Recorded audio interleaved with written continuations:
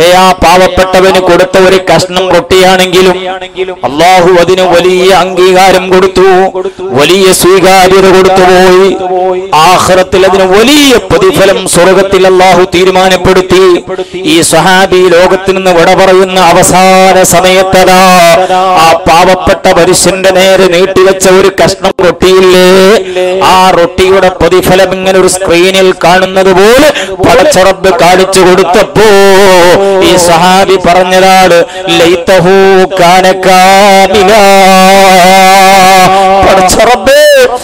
വിശപ്പിന്റെ കാഠിന്യത്തിൽ ആ ഒരു റൊട്ടിയുടെ കഷ്ണം ഞാൻ കൊടുത്തിരുന്നു. പക്ഷേ ഞാൻ ഒന്നുകൂടി വിശപ്പ് സഹിച്ചിട്ട് ആ ഒരു റൊട്ടി പൂർണമായും ഞാൻ കൊടുത്തിരുന്നെങ്കിൽ ഇന്നത്തെ ഈ ദിവസം എനിക്ക് വലിയ സന്തോഷം കിട്ടുമായിരുന്നല്ലോ.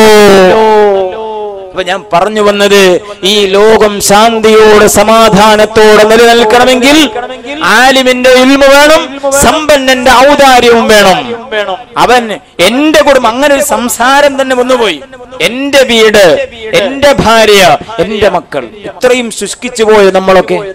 കേരളക്കാരൊക്കെ ദൈവത്തിന്റെ നാട്ടിലെന്നാ പണ്ടൊക്കെ പറയൽ. ഇപ്പൊ ചൈത്താമാരുടെ നാടെന്നേ പറയാൻ പറ്റുള്ളൂ. അപ്പം ഇത്രയും നല്ല നാട്ടിൽ ജീവിച്ച ജനിച്ചു വളർന്ന നമ്മൾ എങ്ങനെ ഇത്രയും ശുഷ്കിച്ചു പോയി? തന്റെ അയൽവാസിയുടെ പേരറിയില്ല. ആ സ്വന്തം അയൽവാസിയുടെ ഫോൺ നമ്പർ അറിയില്ല ഇപ്പുറത്ത് നിൽക്കുന്ന ഈ കക്ഷിക്ക്. അത്രയും നമ്മൾ എന്ത് ചെയ്ത്? അകന്നുകൊണ്ടിരിക്കുന്നു.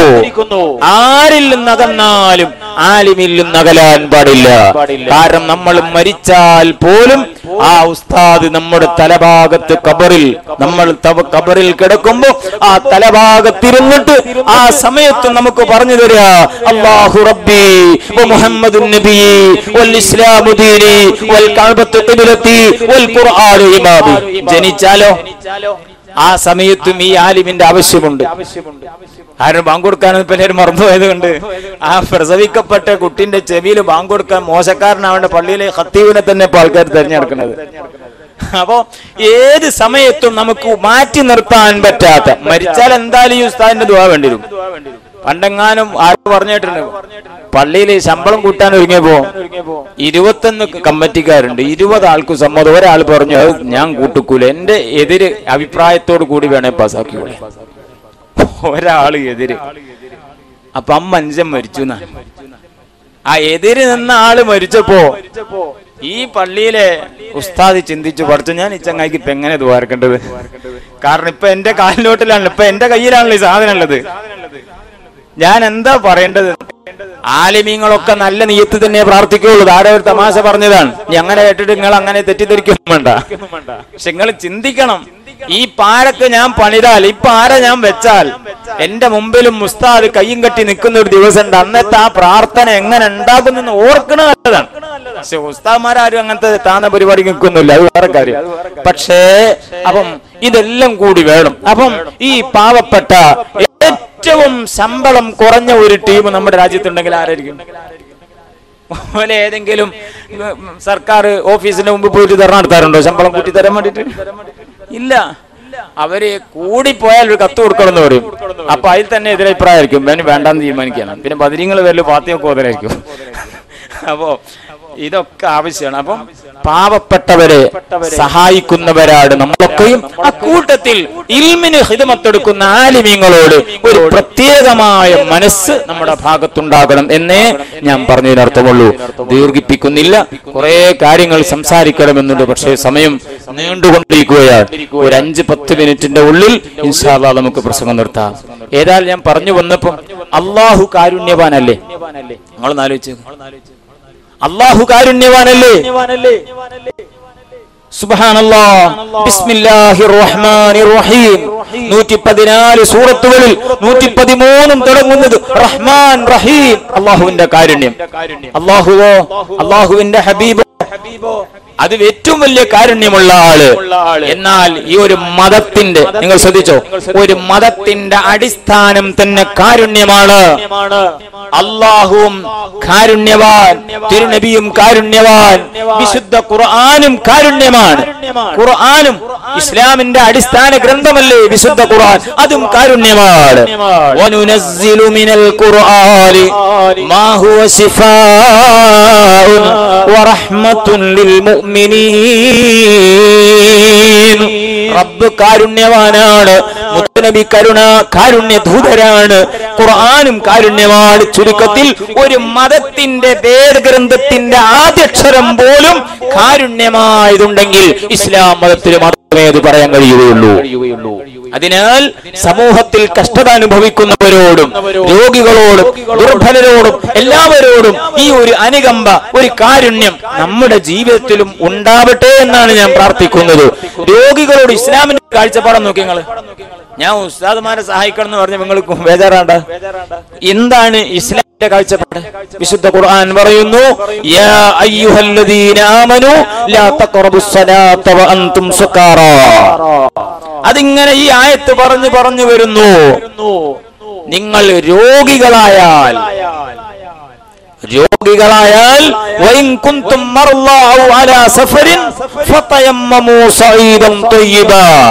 കുളി നിർബന്ധമായ ഒരാൾ. അയാൾക്ക് കുളിക്കാൻ പറ്റുന്നില്ല വെള്ളം ഉപയോഗിക്കാൻ കഴിയുന്നില്ല അല്ലെങ്കിൽ വുളു നിർബന്ധമായ ഘട്ടത്തിൽ വെള്ളെടുക്കാൻ പറ്റുന്നില്ല. ആ ആളോട് ഈ മതം പറ്റില്ല കഴിവില്ല. നീ എന്തായാലും വെള്ളം കൊണ്ട് തന്നെ കുളിക്കണം വുളു എടുക്കണം അങ്ങനെ നിയമം ഇസ്ലാമിലില്ല. ശുദ്ധമായ മണ്ണെടുത്തിട്ട് നിനക്ക് കുളിക്കാം. നിനക്ക് തയമ്മും ചെയ്യാം. അണ്ടോ ഇസ്ലാമിൽ രോഗികളോടുള്ള പാവപ്പെട്ടവരോടുള്ള രോഗികളോട് സമീപനം നിസ്കരിക്കാൻ ഒരാൾക്ക് പറ്റുന്നില്ല. നിന്ന് നിസ്കരിക്കാൻ പറ്റുന്നില്ല. പറ്റില്ലടോ നീ നിന്നിട്ട് തന്നെ നിസ്കരിക്കാവൂ.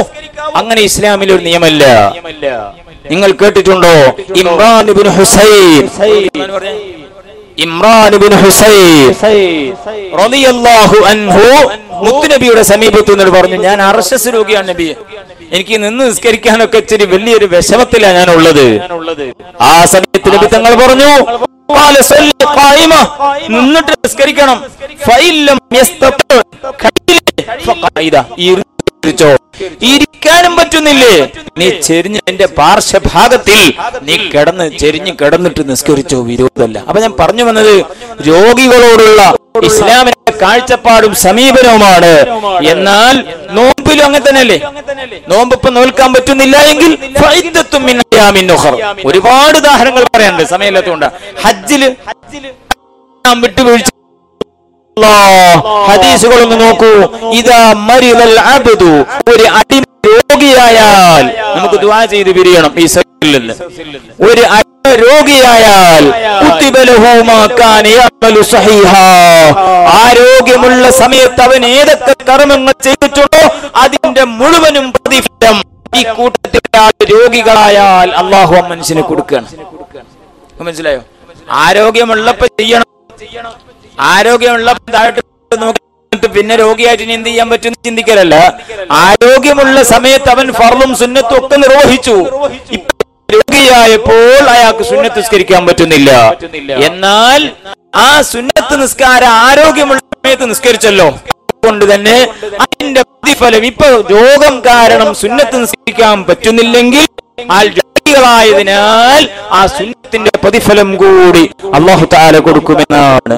അലൈഹി വസല്ലം പറയുന്നു ഇദാ കാനൽ അബ്ദു യഅമലു അമലൻ സാലിഹ ഒരാൾ നല്ല ഒരു അമൽ ചെയ്താൽ ഫസഖലഹു അൻ മറദിൻ. ഇപ്പൊ നോക്കുമ്പോ അയാൾക്ക് ചെയ്യാൻ പറ്റുന്നില്ല. നേരത്തെ കുറെ പത്ത് ഒരു ജുസും രണ്ട് ജുസും ഒക്കെ ഖുർആൻ ഓതിയിരുന്ന ഒരാൾ. ഇപ്പോൾ കാഴ്ച കുറവ് കൊണ്ടും രോഗം കാരണം കണ്ടും അത്രയും ഓടാൻ പറ്റുന്നില്ല. എന്നാൽ കുത്തിവലവോ നേരത്തെ ഓതി അത്രയും പ്രതിഫലം അള്ളാഹു നൽകുന്നതാണ് രേഖപ്പെടുത്തുന്നതാണ്. ഒന്നുകൂടി നോക്കണം. ഞാൻ ഈ സഹായം പറഞ്ഞപ്പം ഇസ്ലാമിൽ പാവപ്പെട്ടവരോടും രോഗികളോടൊക്കെയുള്ള ഒരു കരുണ അനുകമ്പ. ഈ ഉസ്താദുമാരുടെ കുടുംബത്തിൽപ്പെട്ട രോഗികൾ ഇപ്പൊ തന്നെ ഈ നഗർ തന്നെ ഒരു വാർത്ത പേര് മറന്നു വാർത്ത വിസ്താവ് ഒരു മരണപ്പെട്ടു പോയി. അവരെ കുടുംബത്തിന് ഈ സംഘം ആത്മാർത്ഥമായി സഹായിച്ചിട്ടുണ്ട്. അപ്പം അങ്ങനെയുള്ള പാവപ്പെട്ടവരെയും വിധവകളെയും അനാഥകളെയും അവരുടെ ചികിത്സകളെല്ലാം ഈ ഫണ്ടിൽ നിന്ന് കൊടുത്തുകൊണ്ടിരിക്കുകയാണ്. ഇതൊക്കെ ഒരു- ഒരല്പം കൂടി നേരത്തെ ചിന്തിക്കേണ്ടതായിരുന്നു. അലഹമില്ല ഇപ്പോഴെങ്കിലും ചിന്തിച്ചല്ലോ. അത് നല്ല രൂപത്തിൽ നടന്നുകൊണ്ടിരിക്കുന്നു. അത് ഇൻഷാല്ല ഒന്നുകൂടി ആത്മാർത്ഥമായിട്ട് മുന്നോട്ട് നീങ്ങണം. അള്ളാഹുത്തായ എല്ലാ കഴിവുകളും വളർച്ചയും ഉയർച്ചയും ഈ സംഘത്തിനും സംഘടനക്കും അള്ളാഹു നൽകുമാറാകട്ടെ എന്ന് പ്രാർത്ഥിക്കുകയാണ്. ചുരുക്കത്തിൽ ഒന്നുകൂടി കേൾക്കുക രോഗികൾക്ക് നമ്മൾ കൊടുക്കുന്ന ഒരു ആശ്വാസമുണ്ട്. പക്ഷെ അള്ളാഹു രോഗികൾക്ക് എന്ത് പൈസ കൊടുക്കണേ? നോക്കിയേ നമ്മളിപ്പോ ഒരു ക്യാൻസർ രോഗിയോ ഒരു കിഡ്നി തകരാറായ രോഗിയോ വന്നാൽ നമ്മൾ അവർക്ക് പത്തോ ഇരുപതോ നൂറോ ആയിരോ കൊടുക്കുകയാണ്. എന്നാൽ ഈ രോഗിയോട് അള്ളാഹുവിന്റെ കാഴ്ചപ്പാട് എന്താണ്? അള്ളാഹുവിന്റെ ഹബീബായ മുത്തുനബി പറയുന്നു അനീനുൽ ഒരു രോഗി അവന്റെ ശരീരം വേദന കൊണ്ട് പൊളയുകയാണ്. വേദന സഹിക്കാൻ കഴിയാതെ അയാൾ ഇങ്ങനെ നിലവിളിച്ചു കരയുകയാണ്. ആ രോഗി വേദന കൊണ്ട് കരയുന്ന കരച്ചിൽ തസ്ബീഹിന്റെ കൂലിയാണ്. സയ്യിദുൽ വറാ മുഹമ്മദ് വസിയാഹുഹു. ആർ സി പോയി നോക്കൂ. ക്യാൻസർ ബാധിച്ച ചെറുതും വലുതുമായ. സുബാനല്ല പ്രസവം കഴിഞ്ഞ് ദിവസങ്ങളായി ഒരു കുട്ടി ക്യാൻസർ രോഗമായിട്ട് എറണാകുളത്ത് ചികിത്സയിൽ നടന്നുകൊണ്ടിരിക്കുകയാണ്. നിങ്ങൾ നോക്ക് അവ പ്രായ വ്യത്യാസമില്ലാതെ എല്ലാവരെയും ഒരുപോലെ കടന്നു മുടിക്കുന്ന മാരകമായ രോഗം ഈ സദസ്സിലും പരിസരത്തും ഈ നാട്ടിലുള്ള എല്ലാവരെയും അത്തരം മാരകമായ രോഗങ്ങളിൽ നിന്ന് അള്ളാഹു രക്ഷപ്പെടുത്തി തെരുമാറാകട്ടെ. മുത്തുനബി പറയുന്നു വേദന സഹിക്കാൻ കഴിയാതെ നിയന്ത്രണം വിട്ട് അട്ടഹസിച്ച് കരയുന്ന രോഗികളോട് അള്ളാഹുവിന്റെ കാരുണ്യം ഓരോ നിലവിളിയും എന്ന തഹ്ലീലിന്റെ പ്രതിഫലമാണ്. വനൗമു على الفراس عبادا അവൻ വിരിപ്പിൽ കിടക്കുകയാണ്. എഴുന്നേൽക്കാൻ മറ്റൊരാളെ സഹായം കൂടാതെ സാധ്യമല്ലാതെ വിഷമിക്കുന്ന പ്രയാസപ്പെടുന്ന രോഗിയോട് അള്ളാഹുവിന്റെ കാരുണ്യം നോക്കൂ. ആ രോഗി മനഃപൂർവമല്ല എഴുന്നേൽക്കാത്തത്. രോഗപീഠ കാരണം എഴുന്നേൽക്കാൻ പറ്റുന്നില്ല. ആ രോഗിയുടെ ആ വിശ്രമം ഇതാളത്തിന്റെ പ്രതിഫലമാണ് وتقلبه من جنب إلى جنب جهاد في سبيل الله റഹ്മത്തായിട്ടാണ് ലോകങ്ങളായ ലോകങ്ങൾക്ക് മുഴുവനും തിരുനബി സല്ലല്ലാഹു അലൈഹി വസല്ലമ തങ്ങളെ അള്ളാഹു തആല നിയോഗിച്ചിട്ടുള്ളത് ലോകത്ത് മുസ്ലിമീങ്ങൾക്ക് മാത്രമല്ല ഇന്ത്യ രാജ്യത്തിന്റെ ചരിത്രം പരിധിയാൽ നൂറുകണക്കിന് മതങ്ങൾ നമ്മുടെ കൊച്ചു ഭാരതത്തിൽ മാത്രമുണ്ട്. അംഗീകരിക്കപ്പെട്ട മതങ്ങളും അംഗീകരിക്കപ്പെടാത്തതുമുണ്ട്. പക്ഷേ സർവ മതങ്ങൾക്കും സർവ മനുഷ്യർക്കും സർവ ജീവികൾക്കും അനുഗ്രഹമായിട്ടാണ് മുഹമ്മദ് റസൂലുള്ളാഹി സല്ലാഹു അലഹി വസല്ലമ തങ്ങളെ അള്ളാഹു നിയോഗിച്ചിട്ടുള്ളത്. പക്ഷേ ഇത്രയും വലിയ റഹ്മത്തിന്റെ ഉടമയായ മുത്തുനബി സല്ലല്ലാഹു അലൈഹി വസല്ലമ തങ്ങളോട് പടച്ച റബ്ബ് പറയുന്നു ബിൽ വിട്ടുവീഴ്ചയെ നയമായി സ്വീകരിക്കണം നബിയെ. നന്മ കൽപ്പിക്കണം. തിന്മ വിരോധിക്കണം. വിവരദോഷികളായ ആളുകൾ അവരിൽ നിന്ന് മാറി നിൽക്കുകയും വേണം. സത്യത്തിൽ വിട്ടുവീഴ്ചയോടെ സ്നേഹത്തോടെ കാരുണ്യത്തോടെ അവിടുന്ന് ജീവിക്കണം എന്നുള്ള ആശയത്തിലുള്ള അർത്ഥത്തിലുള്ള ആയത്തിന്റെ അവതരണം നടന്നപ്പോൾ സഹാബത്തിന് മനസ്സിലാകുന്നില്ല സഹാബത്തിന്റെ ചോദ്യം എന്തായിരിക്കും ഇത്രയും സ്നേഹത്തോടെ തുല്യതയില്ലാത്ത സ്നേഹത്തോടെ എല്ലാ മനുഷ്യരോടും എല്ലാ ജീവികളോടും ഇടപഴകുന്ന മുത്തുനബിയോട് വീണ്ടും സ്നേഹത്തോടെ ജീവിക്കണമെന്ന് പറഞ്ഞതിന്റെ താല്പര്യം നബിസല്ലാഹു അലിഹി വസല്ലമ തങ്ങളോട് ചോദിച്ചപ്പോൾ മുത്തുനബിയും മറുപടി കൊടുക്കാതെ ഇരിക്കുകയാണ്. അപ്പോഴാണ് മുക്കറബുൽ അംലാഖ് മലക്കു ജിബ്രീൽ അലിഹിസ്സലാത്തു വസ്സലാം വരുന്നു. യാ മുഹമ്മദ് ഓ മുഹമ്മദ് നബിയെ. അതിന്റെ സൗണ്ട് വെക്ക്. സൗണ്ട് വരുന്നില്ല. ഖുദിൽ അഫ്വ. യാ മുഹമ്മദ് ഓ മുഹമ്മദ് നബിയെ. ഈ ആയത്തിന്റെ ആശയം മനസ്സിലായിട്ടില്ലേ? നിശ്ചയമായും അള്ളാഹു തആല ആ മറക് അവിടത്തോട് കൽപ്പിക്കുകയാണ്. നിങ്ങൾ ആരെങ്കിലും ഇങ്ങോട്ട് ആക്രമിച്ചാലും നിങ്ങൾ മാപ്പ് കൊടുക്കണം. ആരെങ്കിലും താങ്കൾക്ക് വല്ല നന്മയും നിഷേധിച്ചാൽ പകരം വീട്ടാതെ അവിടെ നിന്ന് ആവശ്യപ്പെടുമ്പോൾ തിരിച്ചു കൊടുക്കണം. നമ്മൾ ഒരാളോട് പതിനായിരം രൂപ ചോദിച്ചപ്പോൾ അദ്ദേഹത്തിന്റെ കയ്യിൽ ഉണ്ടെന്ന് ഉറപ്പുണ്ട് നമുക്ക്. അയാൾ തന്നില്ല.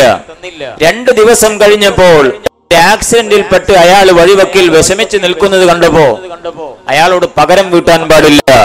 കഴിയുന്ന അത്രയും നാം അദ്ദേഹത്തിന് സഹായിക്കാനുള്ള മാർഗം ചെയ്യണം.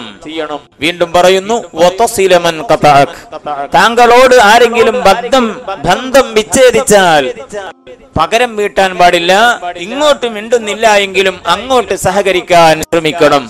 അപ്പം ഇതാണ് ഇതിന്റെ ആശയം. ഞാൻ ചുരുക്കി പറഞ്ഞാൽ നബിസല്ലാഹു അലൈഹി വസല്ലമ തങ്ങളെക്കാൾ ലോകത്ത് ഇത്രയും അധികം സ്നേഹവും കാരുണ്യവും വിട്ടുവീഴ്ചയും ഉള്ള ഒരു നേതാവിനെ കാണുകയില്ല. അവിടുത്തെ കരുണ കരുണ. ഉസാമത്ത് റളിയല്ലാഹു എന്ന് പറയുന്നത് കാണാം. നബിസല്ലാഹു അലിഹി വസല്ലമ തങ്ങളുടെ മകളുടെ മകൻ. സൈനബ് ബീബി റളിയല്ലാഹു അൻഹായുടെ മകന് നബിസല്ലാഹു അലൈഹി വസല്ലമ തങ്ങളിലേക്ക് കൊടുത്തു. കയ്യിലേക്ക് വെച്ചു കൊടുത്തു വഹുവ ഫിൽ മൗത്ത്. ഈ പൊന്നുമോൻ ഈ കുഞ്ഞുമോൻ ഭരണ മരണ വെപ്രാളത്തിലാണ്. ആ കുഞ്ഞിനെ മുത്തിന്റെ കൈകളിലേക്ക് കൊടുത്തപ്പോൾ റസൂലില്ലാ അള്ളാഹുവിന്റെ റസൂലിന്റെ ഇരു നയനങ്ങളും നനഞ്ഞ് കണ്ണീർ തുള്ളികൾ അടർന്നു വീഴുകയാണ്. അപ്പൊ സാദ് തങ്ങൾ മുത്തുനബിയോട് ചോദിച്ചു മാഹാദായ റസൂൽ ഇതെന്താണിത്? നിങ്ങൾ എന്താണ് കരയുകയാണോ? അപ്പോ കരയാൻ പാടുണ്ടോ? ഒരാൾ മരിക്കുകയാണെങ്കിൽ അതിന്റെ പേരിൽ കരയാൻ പാടില്ല എന്ന് പഠിപ്പിച്ച ആളല്ലേ അവിടുന്ന്? പിന്നെന്താണ് ഈ പൊന്നുമോന്റെ വേർപാടിന്റെ ദുഃഖം നിങ്ങൾ കരയാൻ പാടുണ്ടോ? കരഞ്ഞത് ശരിയാണോ? ആ സമയത്ത് നബി സല്ലല്ലാഹു അലൈഹി വസല്ലം പറയുന്നു ഹാദിഹി റഹ്മ. ഇത് കരച്ചിലല്ല. ഇത് അള്ളാഹുവിന്റെ വിധിയെ വിധിയിലുള്ള പ്രതിഷേധമല്ല. ഇത് റഹ്മത്താണ്. അവന്റെ അടിമകളുടെ അള്ളാഹുവിന്റെ ഇഷ്ടദാസന്മാരുടെ ഹൃദയങ്ങളിൽ അള്ളാഹു നിക്ഷേപിച്ച ഒരു പ്രത്യേക തരം റഹ്മത്താണിത്. ആ റഹ്മത്താണ് ഈ ഒഴുകിക്കൊണ്ടിരിക്കുന്നതിന് വിരോധമില്ല. അള്ളാഹു അവന്റെ അടിമകളിൽ പ്രത്യേകം റഹ്മത്ത് ചൊരിയുന്നത് എല്ലാവർക്കുമല്ല. പരസ്പരം കാരുണ്യമുള്ള നല്ല മനസ്സിന്റെ ഉടമകൾ ആരാണോ അവർക്കാണ് അള്ളാഹു റഹ്മത്ത് ചെയ്യുന്നത്. വേറൊരു സംഭവം നോക്കൂ നിങ്ങൾ. നബിസല്ലാഹു അലിഹി വസല്ലമ തങ്ങളുടെ വളരെ ഇഷ്ടപ്പെട്ട സഹാബിയാണ് ഉബാദ അവർ രോഗശയ്യയിലാണ്. അവരെ കാണാൻ നബിസല്ലാഹു അലിഹി വസല്ലമ തങ്ങളോടൊപ്പം അബ്ദുറഹ്മാൻ അൻഹും കൂടെയുണ്ട്. ഇങ്ങനെ ഇവർ രണ്ടുപേരും കൂടി ഉപാധ ഉബാദ തങ്ങളെ കാണാൻ ചെന്നു. നബിസല്ലാഹു അലഹി വസല്ലമ തങ്ങൾ ഈ സഹാബിയെ കണ്ടപ്പോഴേക്കും മുത്തുനബി കരയാൻ തുടങ്ങി. അത് സ്നേഹമുള്ളവന്റെ മനസ്സ് അങ്ങനെയാണ്. ചില ആളുകളുടെ പാറ പോലെ ഉറച്ചതായിരിക്കും. പാറയും അലിയും പക്ഷേ ചില മനസ്സിന്റെ ഉടമകൾ അവർക്കൊരു അലിവും വരില്ല. ഒരു തുള്ളി കണ്ണുനീരും വരില്ല. അത് വല്ലാത്തൊരു അവസ്ഥയെ അള്ളാഹു കാക്കുമാറാവട്ടെ. ചുരുക്കത്തിൽ ഈ സാദിബിന് ഉപാധയെ കണ്ടപ്പോൾ അലിഹി വസല്ലമ തങ്ങളുടെ കണ്ണുകൾ നനഞ്ഞു. ഇമാം ബുഖാരി മുസ്ലിം രേഖപ്പെടുത്തുന്നു നബിയുടെ കൂടെയുള്ള ആളുകളൊക്കെയും കരഞ്ഞുപോയി. കാരണം നബി സല്ലല്ലാഹു അലൈഹി വസല്ലമ തങ്ങളല്ലേ ഇവിടെ കരഞ്ഞത്? ആ കരഞ്ഞത് കണ്ടപ്പോൾ സാക്ഷികളായ എല്ലാവരും കരഞ്ഞുപോയി. അത് നബി സല്ലല്ലാഹു അലൈഹി വസല്ലം തങ്ങളുടെ ഒരു കരുണയാണ് ഞാൻ പറഞ്ഞു വരുന്നത്. എന്നാൽ ഉസ്മാൻ റളിയല്ലാഹു അൻഹു അവർ മരണപ്പെട്ടു. മരിച്ചു കിടക്കുമ്പോൾ മുത്തുനബി അടിയിൽ ചെന്നപ്പോൾ ഉസ്മാൻ. ഉസ്മാൻ മദ്ഊൻ തങ്ങളെ മുത്തുനബി ചുംബിക്കുകയാണ്. സ്വാലിഹീങ്ങൾ മരിച്ചാൽ അവരെ മുത്തം വെക്കലും സുന്നത്ത് തന്നെയാണ്. സാധാരണക്കാര് മരിച്ചാൽ അവരെ പോയെന്ന് കാണൽ പോലും പ്രത്യേകം സുന്നത്തില്ല എന്നും നമ്മൾ ശ്രദ്ധിക്കണം. ആ വീട്ടിൽ പോവണം അത് സുന്നത്താണ്. എന്നാൽ നബിസല്ലാഹു അലൈഹി വസല്ലമ തങ്ങൾ ഉസ്മാനുബിന് മധുവും തങ്ങളെ ചുംബിച്ചു അവിടുന്ന് കരയുമ്പോൾ ആയിഷ ബീബി റളിയല്ലാഹു അൻഹ പറയുന്നു ഫറഅയ്തു ദുമുഅൻ നബി സല്ലല്ലാഹു അലൈഹി വസല്ലമ തസീലു അലാ ഖദ്ദി ഉസ്മാൻ. മുത്തുനബി ചുംബിച്ചു. മുത്തുനബിയുടെ കണ്ണുകളിൽ നിന്ന് കണ്ണീർ തുള്ളികൾ അടർന്നു വീണപ്പോൾ ഉസ്മാനുബിന് ഉസ്മാനുബിന് മധുവൻ തങ്ങളെ കവിൾത്തടത്തിലൂടെ അതിങ്ങനെ ഒഴുകാൻ തുടങ്ങി. അത്രയും വലിയ സ്നേഹത്തിന്റെ വിട്ടുവീഴ്ചയുടെ കാരുണ്യത്തിന്റെ ഉറവിടമാണ് മുഹമ്മദ് റസൂലുള്ളാഹി സ്വല്ലല്ലാഹു അലൈഹി വസല്ലം. ഞാൻ എന്തായി ഈ പറയുന്നത് കുറച്ച് കഴിയുമ്പോൾ നിങ്ങൾക്ക് മനസ്സിലാവും. മൃഗങ്ങളോടും കാരുണ്യം മുത്തുനബിക്ക് മനുഷ്യരോട് മാത്രമല്ല. മൃഗങ്ങളോടും കാരുണ്യം. നിങ്ങൾ പലപ്പോഴും നമ്മളൊക്കെ പലപ്പോഴും പറഞ്ഞതും നമ്മൾ കേട്ടതും പഠിച്ചതുമായ ഒരു സംഭവമുണ്ട്. ഒന്നല്ല നൂറുകണക്കിന് സംഭവമുണ്ട്. എല്ലാവർക്കും പരിചയമുള്ളത് പറഞ്ഞാൽ മതിയല്ലോ എന്ന് ഓർത്തിട്ടാണ് ഒരു അൻസാരിയായ സുഹൃത്തിന്റെ തോട്ടത്തിലേക്ക് നബിസല്ലാഹു അലൈഹി വസ്ലം തങ്ങൾ കടന്നു ചെന്നു. സ്വലാത്ത് ചെല്ലാവുന്നതാണ്. കുറച്ച് കഴിയുമ്പോൾ ഞാൻ പറയാന്ന് കരുതിയിട്ടാണ് പറയുന്നതിന് മുമ്പ് നിങ്ങൾ ചെല്ലുമല്ലേ എന്ന് പരീക്ഷിക്കുകയാണ്. സയ്യിദുൽ മുഹമ്മദ് റസൂലുള്ളാഹി. നമ്മൾ അഞ്ചരുകാരാണ് ഈ ഉസ്താദുമാരൊക്കെ ഇതിന്റെ പരിസരത്തുള്ളവരാണ്. അവർ നമുക്ക് നല്ല മാർക്ക് ഇടാൻ പോവാണ് ഇപ്പോ. നിങ്ങൾ സഹാത്തിന്റെ കനം കുറയരുത്. സയ്യിദുൽ വറ മുഹമ്മദ് റസൂലുള്ളാഹി. സല്ലല്ലാഹു അലൈഹി വസല്ലമ തങ്ങൾ. ആ തോട്ടത്തിലേക്ക് ചെന്നപ്പോൾ കേവലം ഒരു സാധാരണ മനുഷ്യനാണ് അള്ളാഹുവിന്റെ റസൂൽ എന്ന് തെറ്റിദ്ധരിച്ചവരും തെറ്റിദ്ധരിപ്പിക്കുന്നവരും നമ്മുടെ പരിസരത്തൊക്കെ കാണാം. പക്ഷേ അവർക്ക് അവരുടെ വഴി നീങ്ങാവുന്നതാണ്. മുത്തുനബി സല്ലാഹു അലഹി വസല്ലമ തങ്ങൾ ഈ തോട്ടത്തിലേക്ക് എത്തിയപ്പോൾ ഒരൊട്ടകം മുത്തുനബിയുടെ മുമ്പിലേക്ക് വരുന്നു. ഒരു പിതാവിനെ കാണുമ്പോൾ പിഞ്ചു മക്കൾ മുന്നിലേക്ക് ഓടി വരുന്നത് പോലെ.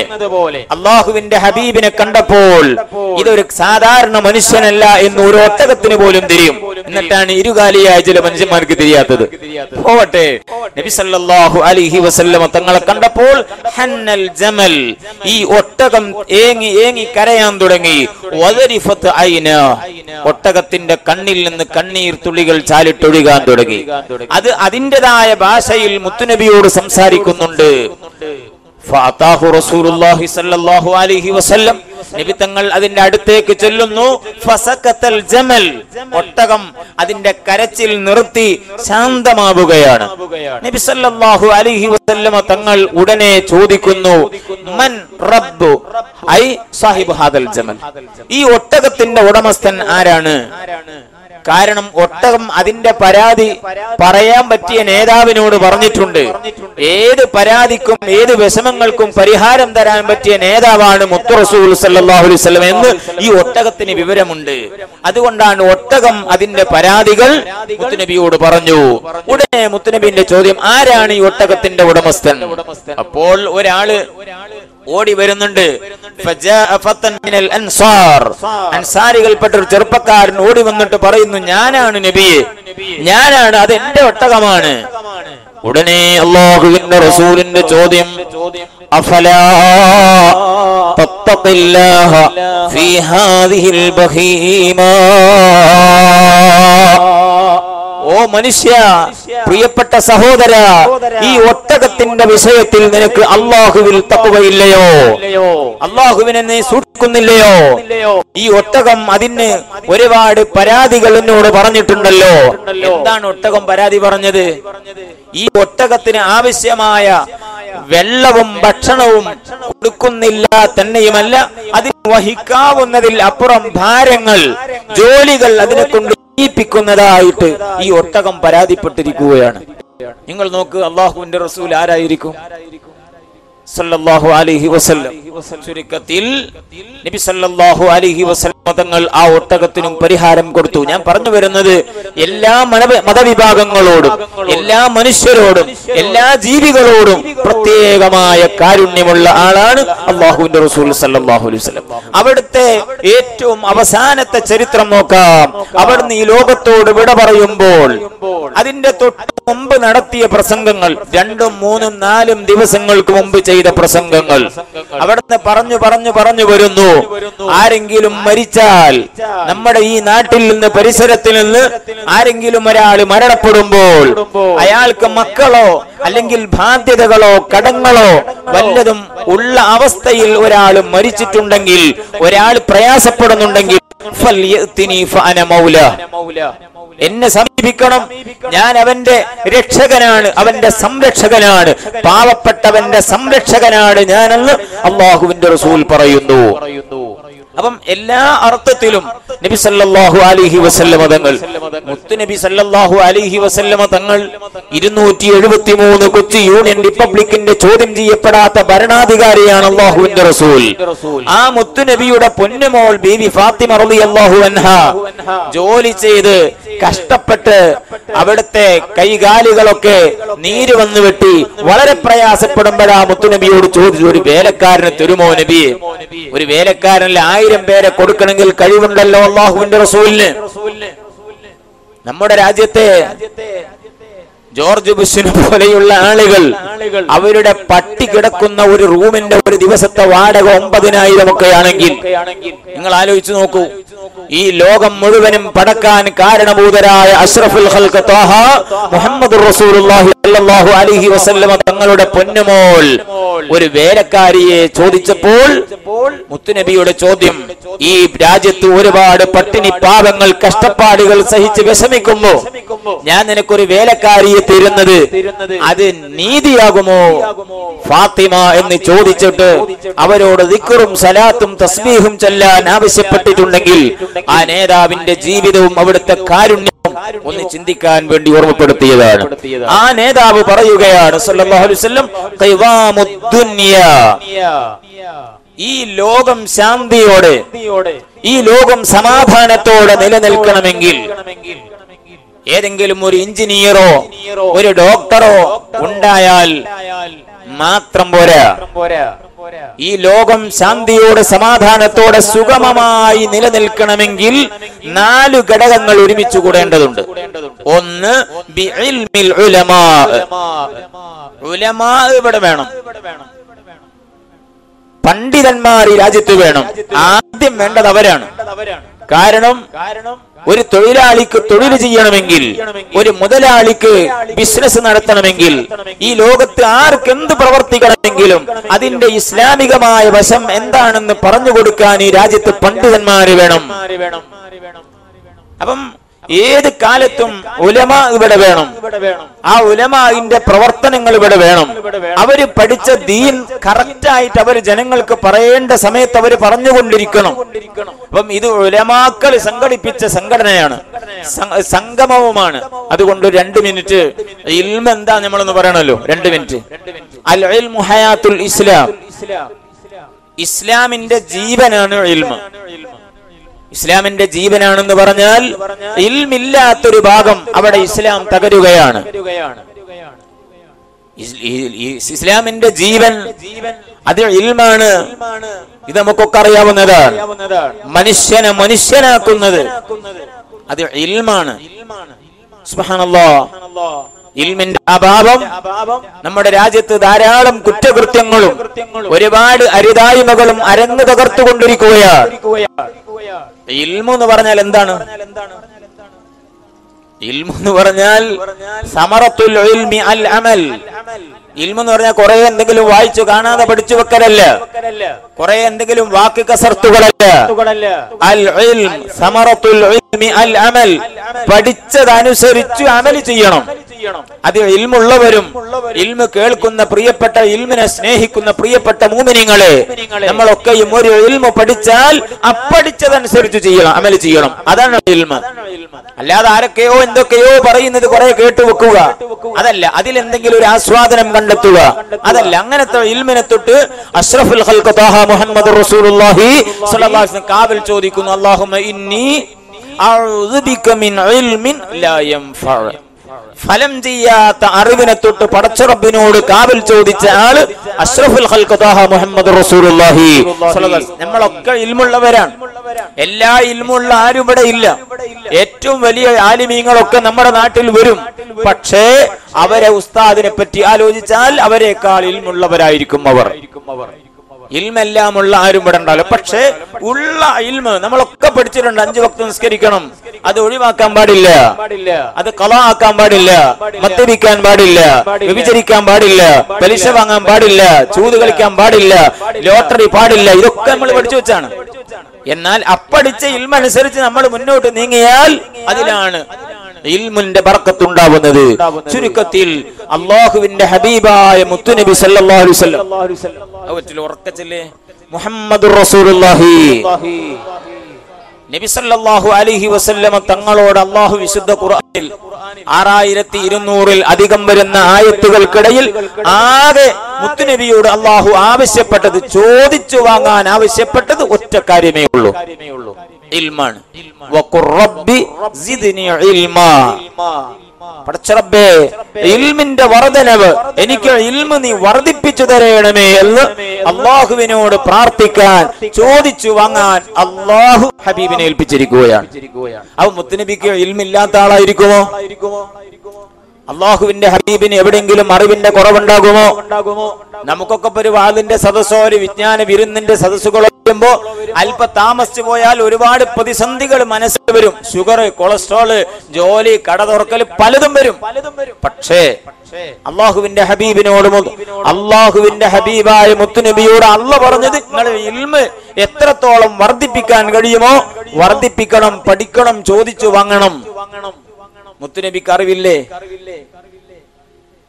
മഹാനായ ഖലീലുല്ലാഹി ഇബ്രാഹിം നബി അലിഹി സ്വലാത്തു വസ്സലാമിന്റെ വിജ്ഞാനത്തിന്റെ കലവറകൾ അതിന്റെ ആഴം വിശുദ്ധ ഖുർആനിൽ കാണാം وكذلك نري إبراهيم ملكوت السماوات والأرض وليكون من الموقنين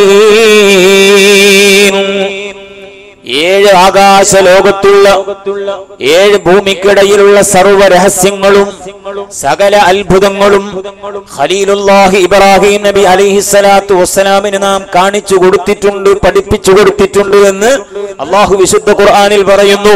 അപ്പൊ ആ ഇബ്രാഹിം നബിന്റെ ഇൽമ എത്രയായിരിക്കും? നമ്മൾ ഒന്നാം ആകാശം വരെ ഇക്കാലം വരെ കണ്ടിട്ടില്ല. എന്നാൽ പലപ്പോഴും നമ്മൾ പറയുന്നതും ഇസ്ലാമിന്റെ എതിരാളികൾ വെളിച്ചത്തിന്റെ ശത്രുക്കൾ പരിഹസിക്കപ്പെടുന്നതുമായ ഒരു പേരുണ്ട്. മഹാനരായ ഖാദിർ ജീലാനി സിർറഹുൽ അസീസ്. ഒന്നാമത്തെ കുത്തുബാണവർ ആ മഹാനുഭാവന്റെ അറിവത്രയാണ്? സുബ്ഹാനല്ലാഹ് സബഈന ബാബല്ലൂമി لفتح الله علما لدنيا أنه رضا الله ഭയങ്കര അസ്വസ്ഥ എഴുപത് വാതിൽ തോറന്നു എനിക്കല്ല ആരും അറിയാത്ത ഇൽമാൽ അതെന്നോവാർ മഹാനായ മുഹയ്യുദ്ദീൻ ശേഖർ അള്ളാഹു കൊടുത്ത എഴുപത് എഴുപത് വാതിൽ കിഴക്കിന്റെ പടിഞ്ഞാറിന്റെ വിശാലതയുള്ള എഴുപതോളം അറിവിന്റെ കവാടങ്ങൾ ഗൗസുൽ ആലമിന് അള്ളാഹു കൊടുത്തു. അതുകൊണ്ടാണ് ഗൗസുൽ ആലം തന്നെ പറഞ്ഞത് എന്ന ഏറ്റവും വലിയ ഔലിയാന്റെ ഉന്നതമായ പദവി ഞാൻ എത്തുന്നത് വരെയും ഞാൻ ഇൽമ പഠിച്ചിട്ടുണ്ട്. നമ്മളെ മക്കളുടെ ഇൽമിന്റെ യോഗ്യത എത്രയാ? ഒരു മനുഷ്യന്റെ മുമ്പ് പറയാൻ പറ്റുമോ? രണ്ടാം ക്ലാസ് വരെ പഠിച്ച് അവിടെ നിന്ന് സർട്ടിഫിക്കറ്റ് വാങ്ങി പോയതാന്ന് പറയാൻ പറ്റുമോ? ഭൗതികമായിട്ട് പലതും എണ്ണാനുണ്ട്. പലതും പറയാനുണ്ട്. പലതും അവകാശപ്പെടാനുണ്ട്. പക്ഷേ ആത്മീയമായിട്ട് എന്റെ മകന് എനിക്കെന്തുണ്ട് എന്ന് ആദ്യം ചിന്തിക്കുക. എന്നിട്ട് എന്റെ മക്കൾക്ക് എന്തുണ്ട് എന്ന് ആലോചിക്കുക. എന്നാൽ ഞാൻ പറഞ്ഞു വന്നത് അള്ളാഹുവിന്റെ ഹബീബിനോട് അള്ളാഹു ചോദിച്ചു വാങ്ങാൻ ആവശ്യപ്പെട്ട ഒരേ ഒരു കാര്യം ഇൽമാണ്. അത് പറഞ്ഞു വന്നപ്പം മുത്തുനബിക്ക് വല്ല അറിവിന്റെ കുറവുമുണ്ടോ എന്ന് ചിന്തിക്കാൻ വേണ്ടി ഓർമ്മപ്പെടുത്തിയതാണ്. വിശുദ്ധ ഖുർആൻ തന്നെ പറഞ്ഞു മാലം താലം വകാന അലൈക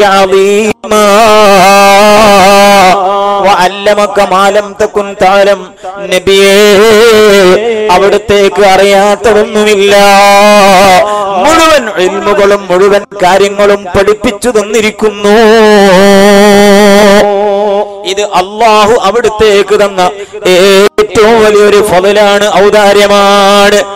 അള്ളാഹു അവന്റെ ഹബീബിനെ പരിചയപ്പെടുത്തിയത് അവിടത്തേക്ക് അറിയാത്ത ഒരു ഇൽമുമില്ല എന്നാണ്. എല്ലാ ഇൽമും പഠിപ്പിച്ചു തന്നു എന്നാണ്. ഇത്രത്തോളം അള്ളാഹു പുകഴ്ത്തി പറഞ്ഞ ഒരു നേതാവിന് ഏതെങ്കിലും ഒരു വിഭാഗത്തിൽപ്പെട്ട ഒരാൾ ആ മഹത്വത്തെ കളങ്കപ്പെടുത്തി പോയാൽ അവൻ ഈ പാപം ഏത് ലോകത്ത് വെച്ച് തീർക്കും പ്രിയപ്പെട്ടവർ അതും കൂടി ഇവിടെ ആലോചിക്കണം. ഇതുകൊണ്ടാണ് ഇമാം ഭൂസൂരി റളിയല്ലാഹു അൻഹു പറഞ്ഞത് ഫഖന്നബീന ഫി ഖൽഖി വഫി ഖുലൂഖി വലം യുദാനുഹു ഫി ഇൽമിൻ വലാ കറമി. ഏതായാലും സമയം പോയില്ലേ? ഒരു ഒരു സലാത്ത് മതിലേക്ക് ചെല്ലിയേക്കാം. മൗലായ സല്ലി وسلم دائما ابدا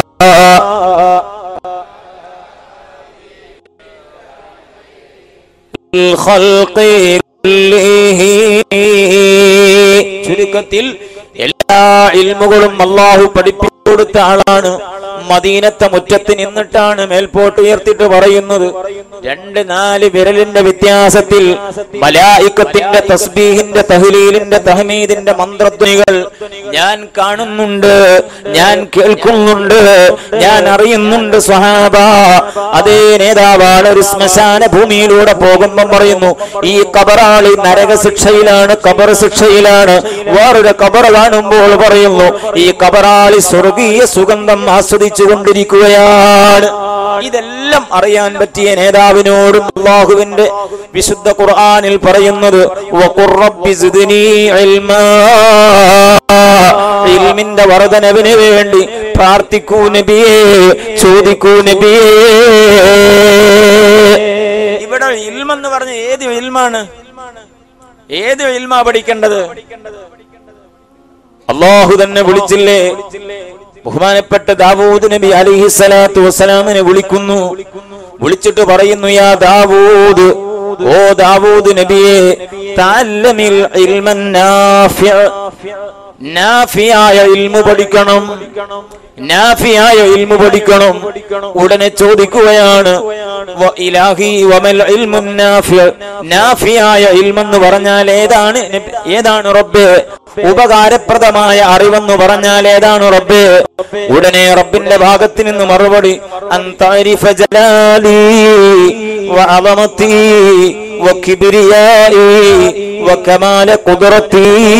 അലാ കുല്ലി ശൈഇ ഈ പ്രപഞ്ചത്തിൽ നാം കാണുന്ന പരമാണു മുതൽ പടുകൂറ്റൻ ഗാലക്സികൾ വരെ സൃഷ്ടിച്ച് നിയന്ത്രിക്കുന്ന ഒരുവനായ അള്ളാഹുവിനെ അറിയാൻ പറ്റിയ അവനിലേക്ക് അടുക്കാൻ പറ്റിയ ഇൽമാണ്.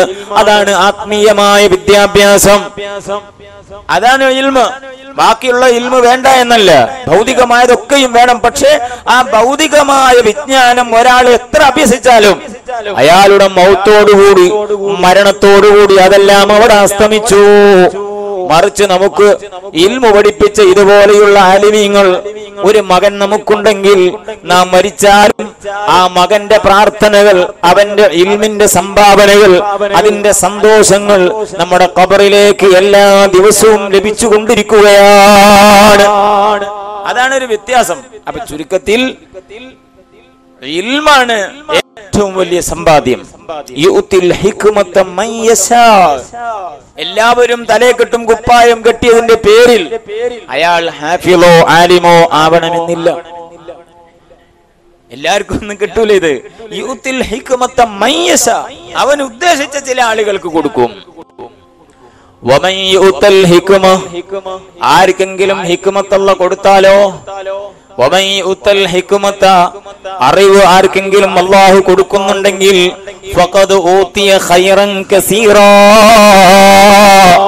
നമ്മുടെ ദൃഷ്ടിയിൽ അവൻ ഒന്നിനും കൊള്ളാത്തവൻ അവനൊരു പഴഞ്ചൻ ഒരു പക്ഷേ അള്ളാഹു പറയുന്നു ഏറ്റവും വലിയ സമ്പത്ത് ഇൽമാണ്. ആ ഇൽമ ഞാൻ ഒരാൾക്ക് കൊടുത്തിട്ടുണ്ടെങ്കിൽ വലിയ ഖൈർ അള്ളാഹു അയാൾക്ക് നൽകിക്കഴിഞ്ഞു. വമാ ഇല്ല ഇല്ലാ ഉലുൽ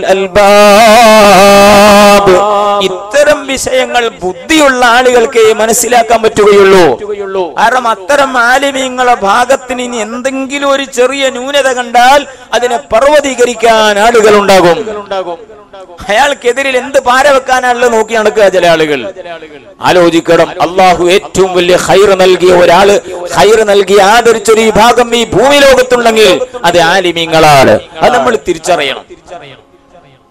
ഇല്ലാതെ പോയാലോ?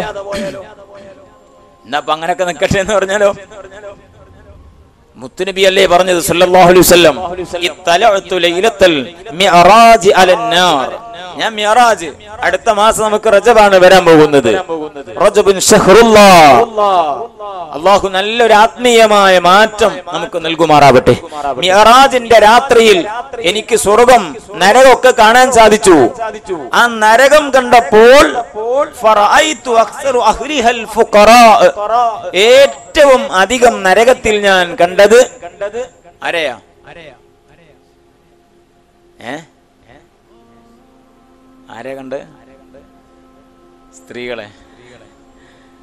ആ കേക്കണ്ട. സ്ത്രീകൾ കേക്കണ്ട. ഏറ്റവും കൂടുതൽ നരകത്തിൽ ഞാൻ കണ്ടത് ഫുക്കറാക്കളെയാണ് സാധുക്കളെയാണ്. ഇത് കേട്ടപ്പോൾ ഒരു കല്ല് ഒരു പാറയുടെ കല്ല് രണ്ട് കഷ്ണങ്ങളൊക്കെ വയറ്റത്ത് ഒരു ചെറിയ തണുപ്പിന് വേണ്ടി സ്വീകരിച്ച കെട്ടിയ സ്വഹാപത്തുണ്ട് സദസ്സിൽ. കീറിപ്പറഞ്ഞ കുപ്പായമിട്ട സ്വഹാപത്തുണ്ട് ഇത്രയും ദരിദ്രരായ പാവങ്ങളായ ഞങ്ങൾ നരകത്തിലാണോ നബിയേ? ഉടനെ അള്ളാഹുവിന്റെ റസൂൽ പറയുന്നു സാധുക്കൾ എന്നാൽ ഞാൻ ആരെയാ പറയുന്നതെന്നറിയോ? നിങ്ങളെ നിങ്ങളെ പറ്റിയല്ല. അവർ ചോദിച്ചു കാലു യാ റസൂലല്ലാഹി മിനൽ മാൽ. സമ്പത്തിന്റെ കുറവുള്ള സാധുക്കളാണോ? നബി തങ്ങൾ പറയുന്നില്ല ബൽ മിനൽ കുറവ്. അറിവിന്റെ അഭാവം ആത്മീയമായ വിവരങ്ങളൊന്നുമില്ല. അയാൾക്ക് ഇപ്പോഴും അറിയില്ല ഒരു ഒന്നു കൊടുക്കാൻ. അയാൾക്ക് അറിയില്ല എങ്ങനെയാണ് നിസ്കരിക്കേണ്ടത് എന്താണ് അത്തഹിയാത്ത്.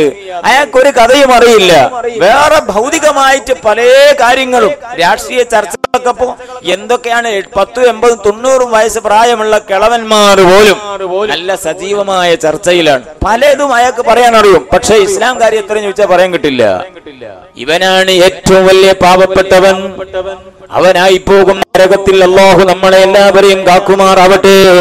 ചുരുക്കത്തിൽ നബി സല്ലല്ലാഹു അലൈഹി വസല്ലമ തങ്ങൾ പറഞ്ഞു വന്ന ഹദീസ് ഓർത്തപ്പാ ഞാൻ ഇത് പറഞ്ഞത്.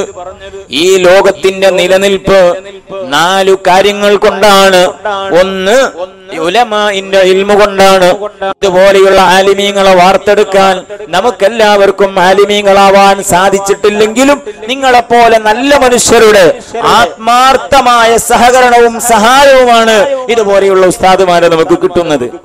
അത് മതി നിങ്ങൾക്ക്. കുൻ ആലിമൻ ഔ മുതഅല്ലിമൻ ഔ മുഹിബ്ബൻ ഔ മുസ്തമിയ. എല്ലാരും ആലിമീങ്ങളാവാൻ പറ്റൂലല്ലോ.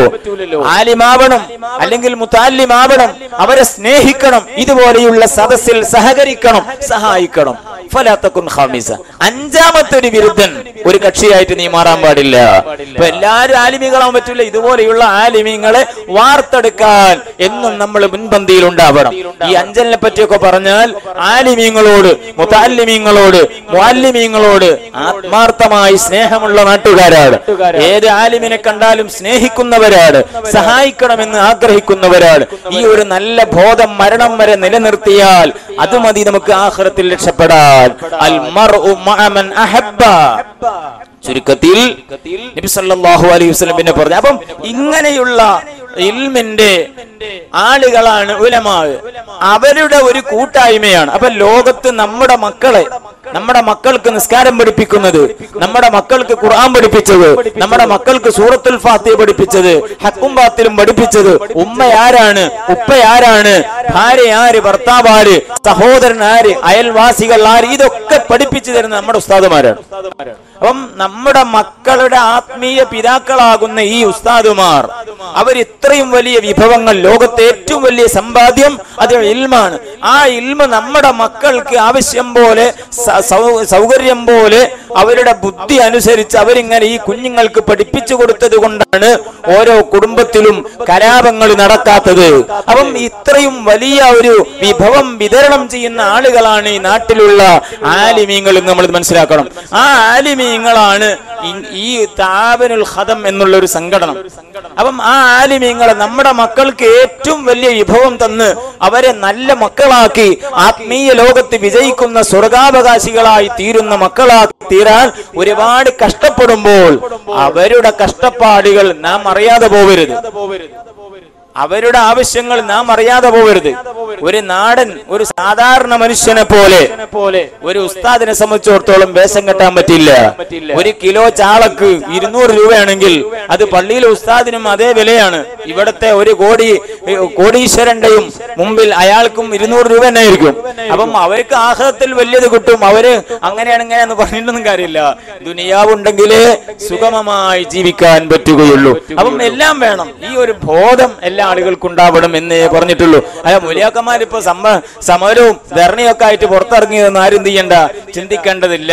അവരെ ഏറ്റവും വലിയൊരു ഹൈറായ കാര്യം ഇവിടെ നമ്മുടെ നാട്ടിൽ വിതരണം ചെയ്യുമ്പോൾ നാം അതിനെ സന്തോഷത്തോടെ സ്വീകരിക്കുകയും ഏത് രൂപത്തിൽ അർത്ഥത്തിൽ അവരെ സഹായിക്കാനും ഈ മതത്തിന്റെ കാവൽക്കാരായി തീരാൻ നമുക്ക് സാധിക്കുമോ? ആ വഴിയാണ് നാം ആലോചിക്കേണ്ടത്. ചുരുക്കത്തിൽ രണ്ടാമത് നബിത്തങ്ങൾ പറഞ്ഞു അതിലിൽ ഉമറ. ഉലമാ പറഞ്ഞ ഉടനെ ഉമറ ആ പറഞ്ഞത്. അപ്പം മുസ്ലിയാര് മുസ്ലിയാരെ വഴിക്ക് പോകട്ടെ. കമ്മിറ്റിക്കാര് കമ്മിറ്റിക്കാരെ വഴിക്ക് പോകട്ടെ. ആ ഒരു നയം ഒരിക്കലും ശരിയല്ല.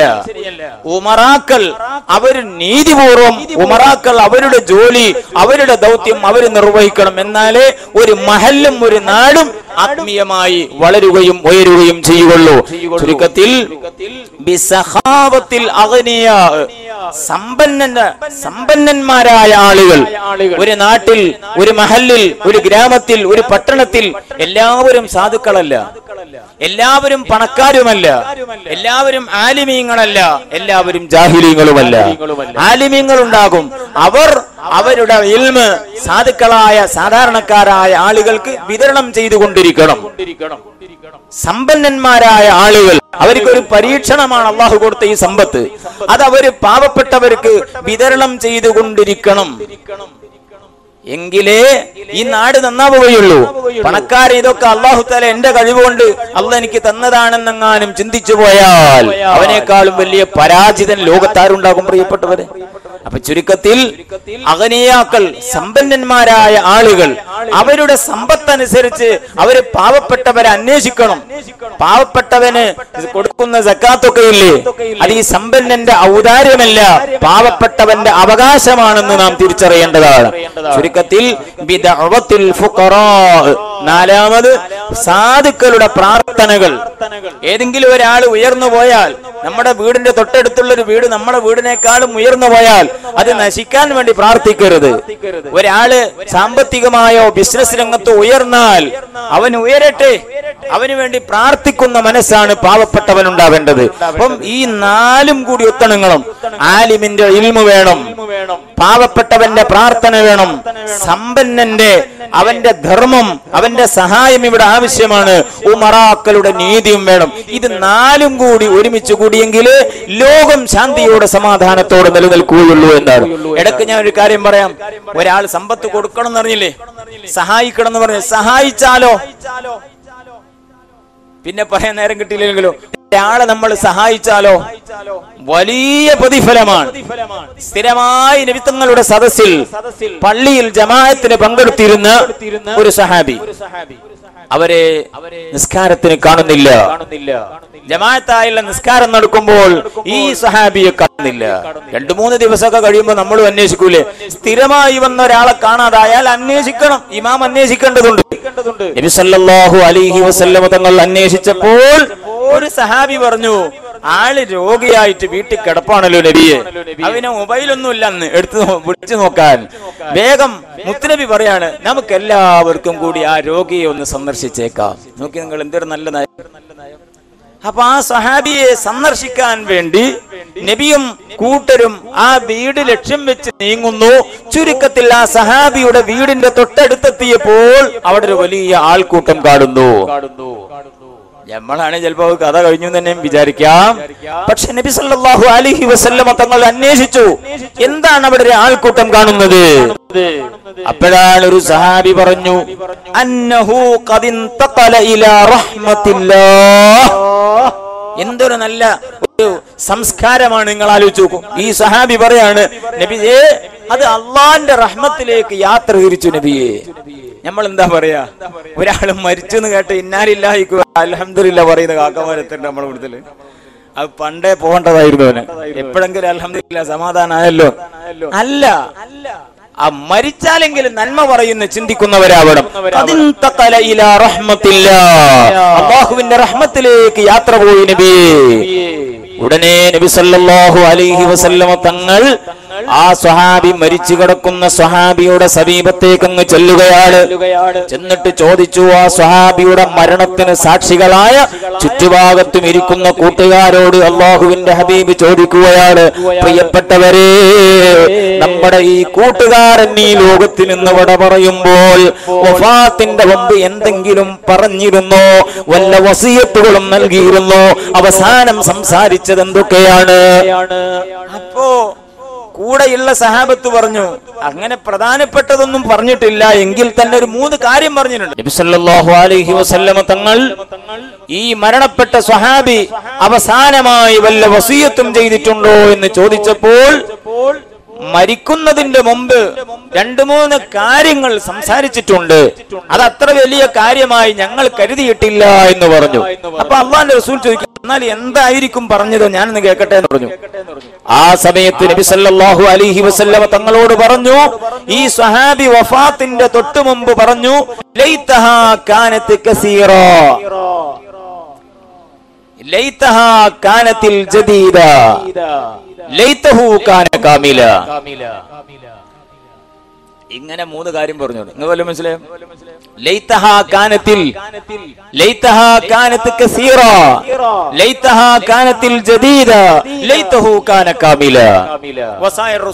സംഭവം കാണാം. അലൈഹി വസല്ലം പറഞ്ഞു ഇത് വളരെ പരിഗണിക്കേണ്ട ഗൗരവമേറിയ മൂന്ന് കാര്യങ്ങളാണല്ലോ. അപ്പൊ സഹാബത്ത് പറഞ്ഞു നമുക്ക് മനസ്സിലായിട്ടില്ല. അവൻ പറഞ്ഞു പിന്നെ ഇത് കേൾക്കാനുള്ള താല്പര്യമായി എന്താണെന്നാൽ ഈ പറഞ്ഞത്? നബി സല്ലല്ലാഹു അലൈഹി വസല്ലം തങ്ങൾ പറഞ്ഞു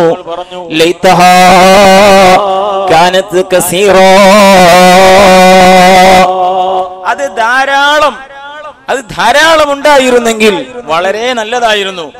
രണ്ടാമത് പറഞ്ഞത് അത് പുതിയതായിരുന്നെങ്കിൽ കൊള്ളാമായിരുന്നു. മൂന്നാമത് പറഞ്ഞത് പരിപൂർണമായിരുന്നെങ്കിൽ വളരെ നന്നായിരുന്നു. അപ്പോ മനസ്സിലാക്കി അന്നേരം പറഞ്ഞു ഒന്നും മനസ്സിലായിട്ടില്ല. അപ്പോഴാ നബിത്തങ്ങൾ ആ ചരിത്രത്തിന്റെ കഥ അതിങ്ങോട്ട് ചുരുളഴിക്കാൻ തുടങ്ങി. നബിത്തങ്ങൾ പറഞ്ഞു ഈ സഹാബി ഒരു ദിവസം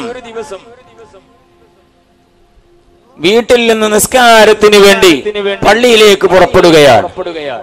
പള്ളിയിലേക്ക് പോകുന്ന വഴിയിൽ പള്ളി എത്താറായപ്പോൾ അന്ധനായ ഒരാൾ ലക്ഷ്യസ്ഥാനത്തെത്താൻ കഴിയാതെ സാഹസപ്പെടുന്നത് കാണുന്നു. ആർക്കെങ്കിലും വല്ലപ്പോഴും വല്ലതും ചെയ്താൽ കിട്ടുന്ന ഒരു ഗുണമാണ് ഞാൻ പറയുന്നത്.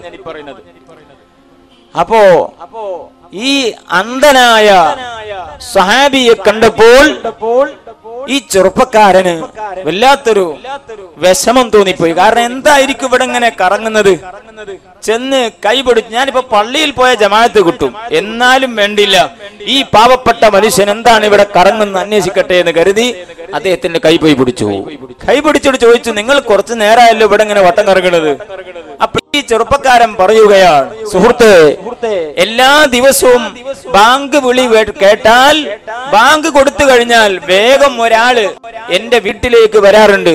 എന്നെ പള്ളിയിൽ എത്തിക്കാൻ എന്റെ കൈ പിടിച്ച് സഹായിക്കാൻ വേണ്ടി ഒരാൾ പള്ളിയിൽ വരും വീട്ടിലേക്ക് വരാറുണ്ട്. പക്ഷെ ഇന്ന് ബാങ്ക് കൊടുത്തു കഴിഞ്ഞിട്ട് ആൾ വന്നില്ല. ആൾ വരാതിരുന്നപ്പോൾ ബാങ്കല്ലേ കേട്ടത്? ഹയ്യ സ്വല സ്വലാ. നിസ്കാരത്തിലേക്ക് വരൂ എന്നുള്ള അനൗൺസ്മെന്റ് കേട്ടപ്പോൾ വീട്ടിലിരിക്കാൻ പറ്റുന്നില്ല. ഞാൻ വീട്ടിൽ നിന്ന് ഇറങ്ങാൻ നേരം ഭാര്യ പറഞ്ഞു വെറുതെ പ്രശ്നം ഉണ്ടാക്കണ്ട ഈ കുണ്ടും കുഴിയുമുള്ള ഈ ഇടവഴികളിലൂടെ പോയാൽ വല്ല അപകടവും പറ്റിപ്പോയതുകൊണ്ട് പോവണ്ട എന്ന് പറഞ്ഞപ്പോ നീ നിന്റെ പണി നോക്കിക്കോ എന്ന് പറഞ്ഞ അവളുമായി തർക്കിച്ചിട്ടാണ് ഞാൻ പള്ളിയിലേക്ക് പുറപ്പെട്ടത്. പക്ഷെ എനിക്ക് ലക്ഷ്യസ്ഥാനത്ത് എത്താൻ പറ്റുന്നില്ല. സ്ഥിരമായി നടന്നു പോയിരുന്നെങ്കിൽ ഒരു ഒരു ഒരു ധാരണയുണ്ടാകുമായിരുന്നു. ഇത് പതില്ലല്ലോ ആ സമയത്ത് ഈ സ്വഹാബി പറയുന്നു എങ്കിൽ ഞാൻ നിങ്ങളെ പള്ളിയിൽ എത്തിച്ചു തരാം. ചുരുക്കത്തിൽ അന്ധനായ കൂട്ടുകാരന്റെ കയ്യും പിടിച്ച് പള്ളിയിൽ എത്തിച്ചു കൊടുത്തപ്പോൾ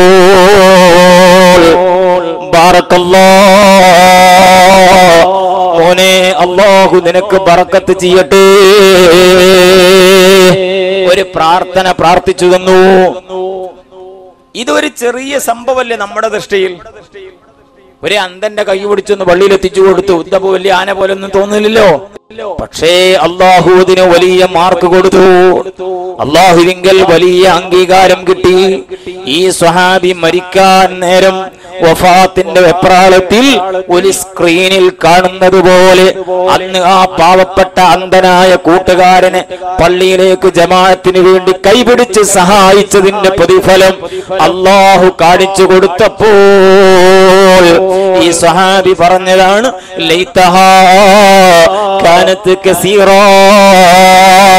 ധാരാളം അന്ധന്മാരെയും വികലാംഗരെയും ഒക്കെ ദുനിയാവിലെ ജീവിതത്തിൽ സഹായിച്ചിരുന്നെങ്കിൽ വളരെ നല്ലതായിരുന്നല്ലോ. ഒരു അന്ധന്റെ കൈ പിടിച്ചതിന്റെ പ്രതിഫലമാണ് കണ്ടത്. അപ്പൊ സഹാബത്ത് പറഞ്ഞു ഇത്രയും വലിയ സംഭവമാണെങ്കിൽ രണ്ടാമത്തേത് എന്താ നബിയെ ചോദിച്ചു. അത് പുതിയതായിരുന്നെങ്കിൽ കൊള്ളാമായിരുന്നു എന്ന് പറഞ്ഞില്ലേ? ഈ സഹാബി പതിവ് പോലെ സുബഹി നിസ്കാരത്തിന് വീട്ടിൽ നിന്ന് എഴുന്നേൽക്കുകയാണ്. എഴുന്നേൽക്കണം. ഇപ്പൊ പിന്നെ സുബൈന്റെ മുമ്പ് തന്നെ ചൂടുകൊണ്ട് എല്ലാവരും എഴുന്നേൽക്കുന്നുണ്ട് ഇതൊക്കെ കലാ വീട്ടിൽ രണ്ടു മാസം കൂടി കഴിഞ്ഞിട്ടായിരിക്കും. ഒരു തണുപ്പ് പഠിച്ചു അന്ന് അന്നായിരിക്കും ശരിക്കും തുടങ്ങൽ ഞാമത്തിന് ശുക്ർ ചെയ്യാത്തവരായി പോകും. ശ്രദ്ധിക്കണേ. ചുരുക്കത്തിൽ ഈ സഹാബി എഴുന്നേറ്റ് നോക്കുമ്പോ മദീനയുടെ തണുപ്പൊക്കെ ഇന്നൊന്നും ഇപ്പൊ അത്ര വലിയ തണുപ്പൊന്നുമില്ല. പത്ത് കൊല്ലം മുമ്പ് അച്ഛന് പോയ ഒരാൾ പറഞ്ഞ് ഞാൻ കേട്ടിട്ടുണ്ട്. എന്ത് തണുപ്പായിരുന്നു ഉസ്താദെ. മൂത്രയ്ക്കാൻ നേരം കഴുകാൻ സംഗതി കാണുന്നില്ല. തണുപ്പുണ്ടേ. അപ്പൊ അത്രയും വലിയ തണുപ്പൊക്കെ ഉണ്ടായിരുന്നു അതൊക്കെ പോയി. ഇപ്പൊ അങ്ങനത്തെ പ്രശ്നമൊന്നുമില്ല. ചുരുക്കത്തിൽ ഈ സഹാരി എഴുന്നേറ്റ് നോക്കുമ്പോ തണക്കുന്ന അപ്പൊ എന്ത് ചെയ്തു? ഒരു കുപ്പായ എടുത്തിട്ട് ഒരു കുപ്പായ എടുത്തിട്ട് ഒരു ഷാൾ മേലേക്ക് എടുത്ത് പൊതിച്ചു. അപ്പൊ നോക്കുമ്പോ പുറത്തേക്കോട്ട് ഇറങ്ങാൻ നേരം വീണ്ടും പറയൽ. ഒരു പുതപ്പും കൂടി എടുത്തു പൊതിച്ചു പള്ളിയിൽ പോകാനുള്ള ഒരു ആ- സഹാബത്തിന്റെ ഒരു സ്വഭാവങ്ങൾ കേട്ടോക്കെ. രണ്ട് പുതപ്പെടുത്ത് പൊതിച്ചപ്പോൾ അലഹമില്ല ഒരു ആശ്വാസമായി. അങ്ങനെ പുറത്തേക്ക് പോവുകയാണ്. ഒരൽപ്പം മുന്നോട്ട് നീങ്ങിയപ്പോൾ വഴിവക്കിലതാ. വഴിയോരത്തൊരു കടത്തിണ്ണയിൽ ഒരു വൃദ്ധനായ ഒരാളിരിക്കുകയാണ്. നോക്കുമ്പോൾ ഒരു ബനിയനില്ല ഒരു കുപ്പായമില്ല. ഉടുത്ത ഒരു ചെറിയ ഉടുമുണ്ട് മാത്രമായിട്ട് ഒരു പാവപ്പെട്ട മനുഷ്യൻ കടത്തിണ്ണയിൽ മരം കോച്ചുന്ന തണുപ്പത്ത് അതെല്ലാം സഹിച്ചു ക്ഷമിച്ച് ഇരിക്കുന്ന കാഴ്ച കണ്ടപ്പോൾ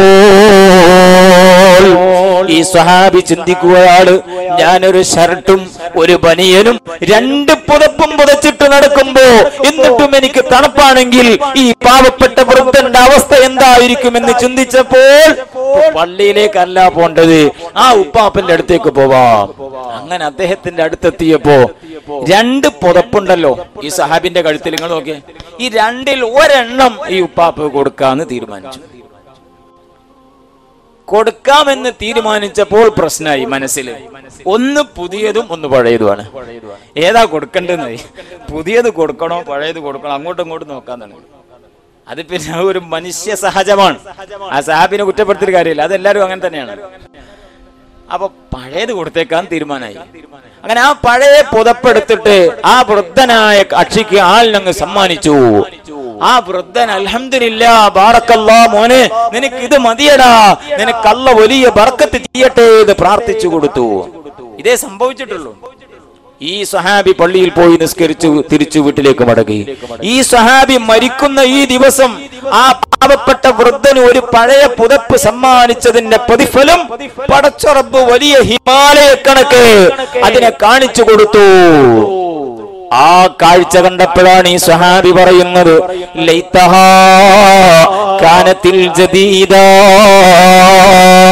ഞാനന്ന് ആ പഴയ പുതപ്പ് കൊടുത്തതിന് പകരം പുതിയ പുതപ്പ് കൊടുത്തിരുന്നെങ്കിൽ ഇതിലേറെ വലിയ പ്രതിഫലം ലഭിക്കുമായിരുന്നല്ലോ. അപ്പൊ ഈ ഇതുപോലെയുള്ള പാവപ്പെട്ടവർക്ക് അനാഥകൾക്ക് അഗതികൾക്ക് ഈ ഇൽമ വിതരണം ചെയ്യുന്ന ഇൽമിന്റെ ഹാദിന്യങ്ങളായ ആലിമീങ്ങളെ പ്രത്യേകം നമ്മൾ ശ്രദ്ധിക്കേണ്ടതുണ്ട്. ഈ നാട്ടിലെ എത്തിമക്കളെ സഹായിക്കാൻ മത്സരമാണ്. എത്രയോ അനാഥാലയങ്ങൾ വെറുതെ കിടക്കുന്നുണ്ട് മക്കളെ കിട്ടാത്തത് കൊണ്ട്. പരസ്യം ചെയ്യാണ്. മരിച്ചു കിട്ടിയാൽ മതി. അതിനെ സംരക്ഷിക്കാൻ ആളുകളുണ്ട്. ആവട്ടെ അലഹമില്ല എത്രയോ അഗതികളുണ്ട്. ഇഷ്ടം പോലെ ആളുകളുണ്ട്. പക്ഷേ ഈ നാട്ടിലെ ദീനിന്റെ ഹാദിമീങ്ങളായ കാവൽക്കാരായ ഉലമാന്റെ കുടുംബത്തിൽ അവർക്കൊരു മാരകമായ രോഗമോ ഒരു വീടോ ഒരു മകളുടെയോ പെങ്ങളുടെയോ കല്യാണമോ വന്നാൽ അവർ മേലോട്ടും ഇതായിട്ട് നോക്കാനായി. അവരെ നിസ്കാരം പോലും ക്ലിയർ ആവുന്നില്ല ഇമാമത്ത് നിൽക്കുന്ന ഇമാമിന് പലപ്പോഴും തെറ്റിപ്പോകുന്നു. കാരണം എന്ത് ചെയ്യും? കല്യാണം അടുത്ത് വരികയാണല്ലോ. അപ്പം ഇങ്ങനെയുള്ള ദീനിന്റെ കാവൽക്കാരായ ആലിമീങ്ങളെ സാധാരണക്കാരായ ആളുകൾ സഹായിക്കുമ്പോൾ ഒരു പ്രത്യേക പരിഗണന കൊടുത്താൽ ഈ സഹാബി പറഞ്ഞതുപോലെ ഒരായിരം കൊടുക്കാൻ കഴിഞ്ഞിരുന്നെങ്കിൽ നൂറ് കൊടുത്താൽ ചിന്തിക്കുക പഠിച്ചോൻ അന്ന് ഞാൻ എങ്ങനെ ആയിരം കൊടുക്കാമായിരുന്നു? കൊടുത്തിരുന്നെങ്കിൽ എന്ന് ഖേദിക്കുന്നൊരു സമയമാണ് മൗത്തിന്റെ നേരം. അതാണ് ഈ സഹാബി ചിന്തിച്ചത്. പഠിച്ചോനെ ഞാൻ അന്ന് വേണ്ടില്ലായിരുന്നു പുതിയതിനെ കൊടുത്താൽ മതിയായിരുന്നു. ഉടനെ സഹാബത്ത് ചോദിക്കുന്നു നബിയേ ഒരു കാര്യം കൂടി പറഞ്ഞിട്ടുണ്ട്. അതിന്റെ ആശയം ഞങ്ങൾക്ക് മനസ്സിലായിട്ടില്ല. ഉടനെ നബി തങ്ങളോട് പറഞ്ഞു അത് പരിപൂർണമായിരുന്നെങ്കിൽ വളരെ നല്ലതായിരുന്നു. അവൻ പറഞ്ഞു അതെന്താണ്? ഞങ്ങൾ പറഞ്ഞു ഈ സഹാബി പതിപോലെ ഒരു ദിവസം വീട് വിട്ടിറങ്ങി മാർക്കറ്റിലൊക്കെ കറങ്ങി തിരിഞ്ഞു വന്നു. വീട്ടിലെത്തിയപ്പോൾ വിശപ്പിന്റെ കാഠിന്യം. ചില വെള്ളിയാഴ്ച ഒക്കെ ജുമാ കഴിഞ്ഞ് വീട്ടിലെത്തിയിട്ട് ആ സമയത്തും പെണ്ണുമ്പള്ള അലക്കിക്കൊണ്ടിരിക്കുകയാണ് നമ്മൾ അലക്കാൻ തുടങ്ങും. പിന്നെ പിന്നെ നമ്മൾ പറഞ്ഞ നികണ്ട് നോക്കിയാൽ പോലും ആന കിട്ടാത്ത ചില വാക്കുകളായിരിക്കും ഉപയോഗിച്ചിട്ടുണ്ടാവുക. അതങ്ങനെയാണ് ചില സമയത്ത്. അപ്പൊ റോഡുമലൊക്കെ പോയി തിരിച്ച് വീട്ടിലേക്ക് എത്തിയപ്പോ പുള്ളിക്കാരത്തി ഇങ്ങനെ ഒരു വളിച്ച ചിരിയായിട്ട് ഇക്ക എല്ലാ ദിവസത്തെ പോലെ ഒന്ന് വാളുണ്ടാക്കരുത് എന്തായിരിക്കും സ്ഥിതി? ഭാര്യ പറഞ്ഞു ഇവിടെ ഒന്നും ഇല്ലക്ക ഇക്ക വിടുവോ? ഈ സഹാബി പറഞ്ഞ ആ പരിപാടിയോട് നടക്കൂല എനിക്ക് വിശന്നിട്ട് കണ്ണ് കാണാൻ പറ്റുന്നില്ല. വേഗം എന്തെങ്കിലും കൊണ്ടുപോകാന്ന് പറഞ്ഞിട്ട് ബാളുണ്ടാക്കാൻ തുടങ്ങി. ഈ പെണ്ണെന്ത് ചെയ്യാൻ പറ്റും? പാവപ്പെട്ട ഈ സഹാബി വനിത പറയുന്നു ഇക്ക ഒന്നുമില്ലാത്തത് കൊണ്ടല്ലേ പറഞ്ഞത്? ഇക്ക വല്ലതും കൊണ്ടുവന്ന് തന്നിട്ടുണ്ടോ ഇവിടെ? അതൊന്നും എനിക്കിപ്പോ കേൾക്കണ്ടല്ലോ. എനിക്ക് വിശപ്പ് എന്തെങ്കിലും തന്നിട്ടല്ലാതെ എനിക്കിപ്പോ എന്റെ നിയന്ത്രണമൊക്കെ വിട്ടിട്ട് ഇച്ചിരി മാറി എന്നോളാൻ പറഞ്ഞു നോക്കുമ്പോ സുബാനല്ലോ ഒരു ഗതിയില്ലാത്ത അവസ്ഥ എത്തിയപ്പോ ഈ സഹാബി വനിത ഈ സഹാബിയുടെ ഭാര്യ പറയുകയാണ് ഇക്ക ഉറങ്ങിക്കിടക്കുന്ന ആ പൊന്നുമോനില്ലേ ആ പൊന്നുമോൻ ഉണർന്നാൽ കൊടുക്കാനുള്ള ആകെ ഇവിടെയുള്ള ഒരു ഗോതമ്പ് മാവ് കൊണ്ട് ചുട്ടടുത്ത് റൊട്ടി ഇവിടെ ഉണ്ട് വേറെ ഒന്നും ഇവിടെ ഇല്ല എന്ന് പറഞ്ഞു. അതും കൂടെ കൊണ്ടുവരാൻ പറഞ്ഞു. അത് ചില വാപ്പന്മാര് പറയും. അതിള്ള കൂടെ കൊണ്ടുപോവാ പിന്നെ മക്കൾ ഉടരുമ്പല്ല അന്നേരം വല്ല വേറെ വല്ല വഴി നോക്കുക വഴിയൊന്നുമില്ല. ഇയാളെ നിന്നിട്ട് ഇയാൾ ഇറങ്ങിപ്പോ. പിന്നെയും ഗതികേട് പെണ്ണുമ്പോഴൊക്കെ തന്നെ ആയിരിക്കും. ഇന്നൊന്നും ഈ അഞ്ചലൊന്നും അങ്ങനത്തെ കഷ്ടപ്പാടുള്ള വീടുണ്ടാവൂല. ഒരു പത്ത് മുപ്പത് കൊല്ലം മുമ്പുള്ള അഞ്ചലൊന്ന് സങ്കല്പിച്ചു നോക്കൂ. ഒരു നല്ല ആഹാരത്തിന് വേണ്ടി കൊതിച്ച ആളുകൾ ഉണ്ടാകും ഒരു നല്ല വസ്ത്രം ധരിക്കാൻ ആശിച്ചു പോയവരുണ്ടാവാം. എന്നാൽ ഈ സ്വഹാബി വനിത ഈ സ്വഹാബിയുടെ ഭാര്യ വല്ലാതെ ഉപദ്രവമായപ്പോൾ ആ റൊട്ടിയെടുത്ത് മനമില്ല മനസ്സോട് ഭർത്താവിന്റെ കയ്യിലേക്ക് കൊടുക്കുകയാണ്.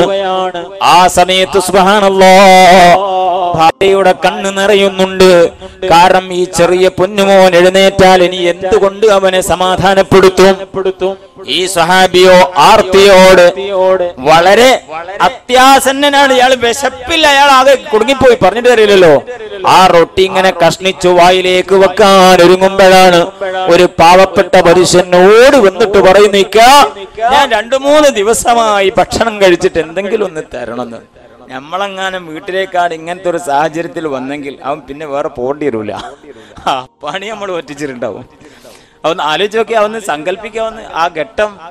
ഈ സ്വഹാബി ചിന്തിച്ചു പടച്ചോനെ ഇരുപത്തിനാല് മണിക്കൂർ പോലും ഞാൻ വിശന്നിട്ടില്ലല്ലോ. ഇത്രയും അധികം വിശപ്പാണ് എനിക്കുള്ളതെങ്കിൽ ദിവസങ്ങളോളം ഭക്ഷണം കഴിക്കാത്ത ഈ പാവപ്പെട്ടവന്റെ നിലവിളി അവന്റെ വിശപ്പത്രയായിരിക്കും. ഈ റൊട്ടി എടുത്തിട്ട് രണ്ട് കഷ്ണമാക്കിയിട്ട് ഒരു കഷ്ണം ആ പാവപ്പെട്ട മനുഷ്യന് കൊടുത്തു. അകത്ത പള്ളിയിലേക്ക് ഒരു കൊതുക് പോയതുപോലെ ഉണ്ടാകും.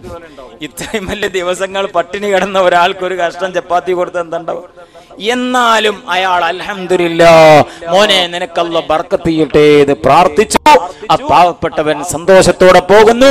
ഈ സ്വഹാബിയ ഒരു കഷ്ണം റൊട്ടി കഴിച്ചു. പക്ഷേ ആ പാവപ്പെട്ടവന് കൊടുത്ത ഒരു കഷ്ണം റൊട്ടിയാണെങ്കിലും അള്ളാഹു അതിന് വലിയ അംഗീകാരം കൊടുത്തു വലിയ സ്വീകാര്യത കൊടുത്തുപോയി ആഹ്റത്തിൽ അതിന് വലിയ പ്രതിഫലം സ്വർഗത്തിൽ അള്ളാഹു തീരുമാനപ്പെടുത്തി. ഈ സഹാബി ലോകത്തിൽ നിന്ന് വിട പറയുന്ന അവസാന സമയത്തതാ ആ പാവപ്പെട്ട മനുഷ്യന്റെ നേരെ നീട്ടിവെച്ച ഒരു കഷ്ണം റൊട്ടിയില്ലേ? ആ റൊട്ടിയുടെ പ്രതിഫലം ഇങ്ങനെ ഒരു സ്ക്രീനിൽ കാണുന്നത് പോലെ പടച്ചറബ് കാണിച്ചു കൊടുത്തപ്പോ ഈ സഹാബി പറഞ്ഞതാണ്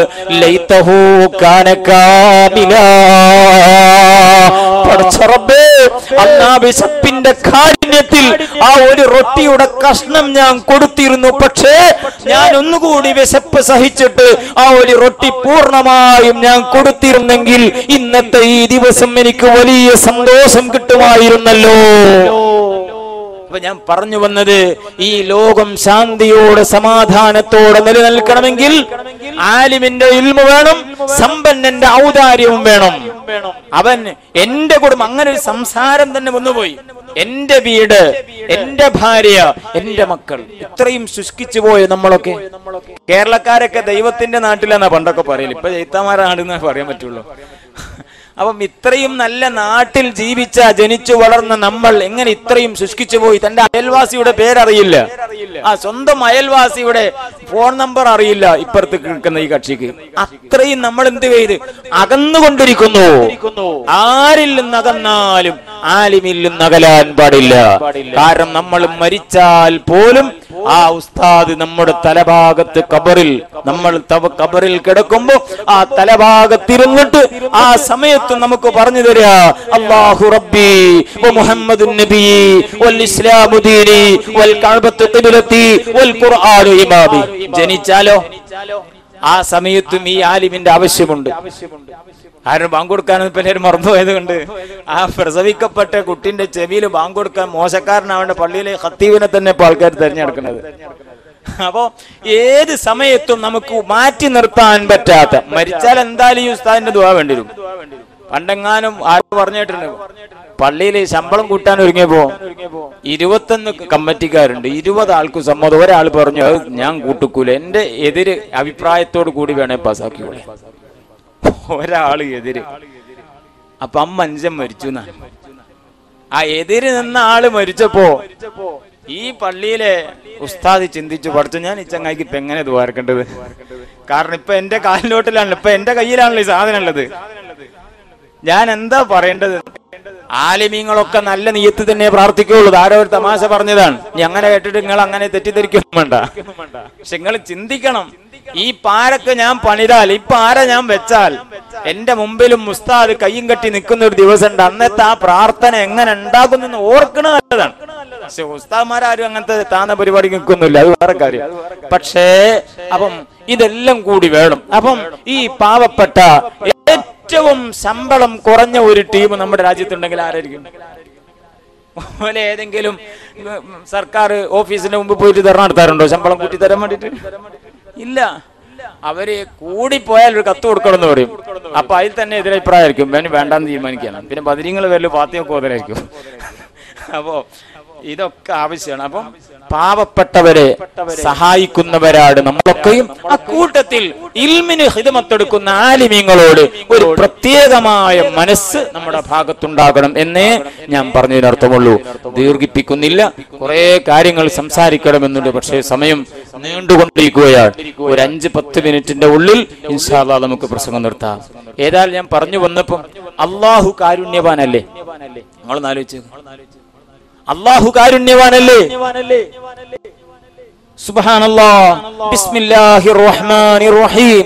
നൂറ്റി പതിനാല് സൂറത്തുകളിൽ നൂറ്റി പതിമൂന്നും തുടങ്ങുന്നത് റഹ്മാൻ റഹീം അള്ളാഹുവിന്റെ കാരുണ്യം. അള്ളാഹുവോ? അള്ളാഹുവിന്റെ ഹബീബോ? അത് ഏറ്റവും വലിയ കാരുണ്യമുള്ള ആൾ. എന്നാൽ ഈ ഒരു മതത്തിന്റെ നിങ്ങൾ ശ്രദ്ധിച്ചോ? ഒരു മതത്തിന്റെ അടിസ്ഥാനം തന്നെ കാരുണ്യമാണ്.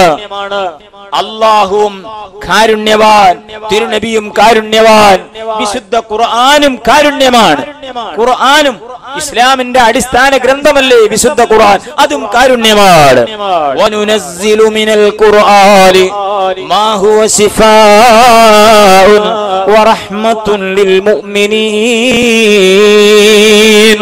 റബ്ബ് കാരുണ്യവാനാണ് മുത്തനബി കരുണ കാരുണ്യ ദൂതരാണ് ഖുർആാനും കാരുണ്യമാണ്. ചുരുക്കത്തിൽ ഒരു മതത്തിന്റെ വേദഗ്രന്ഥത്തിന്റെ ആദ്യക്ഷരം പോലും കാരുണ്യമായതുണ്ടെങ്കിൽ ഇസ്ലാം മതത്തിന് മാത്രമേ അത് പറയാൻ കഴിയുകയുള്ളൂ.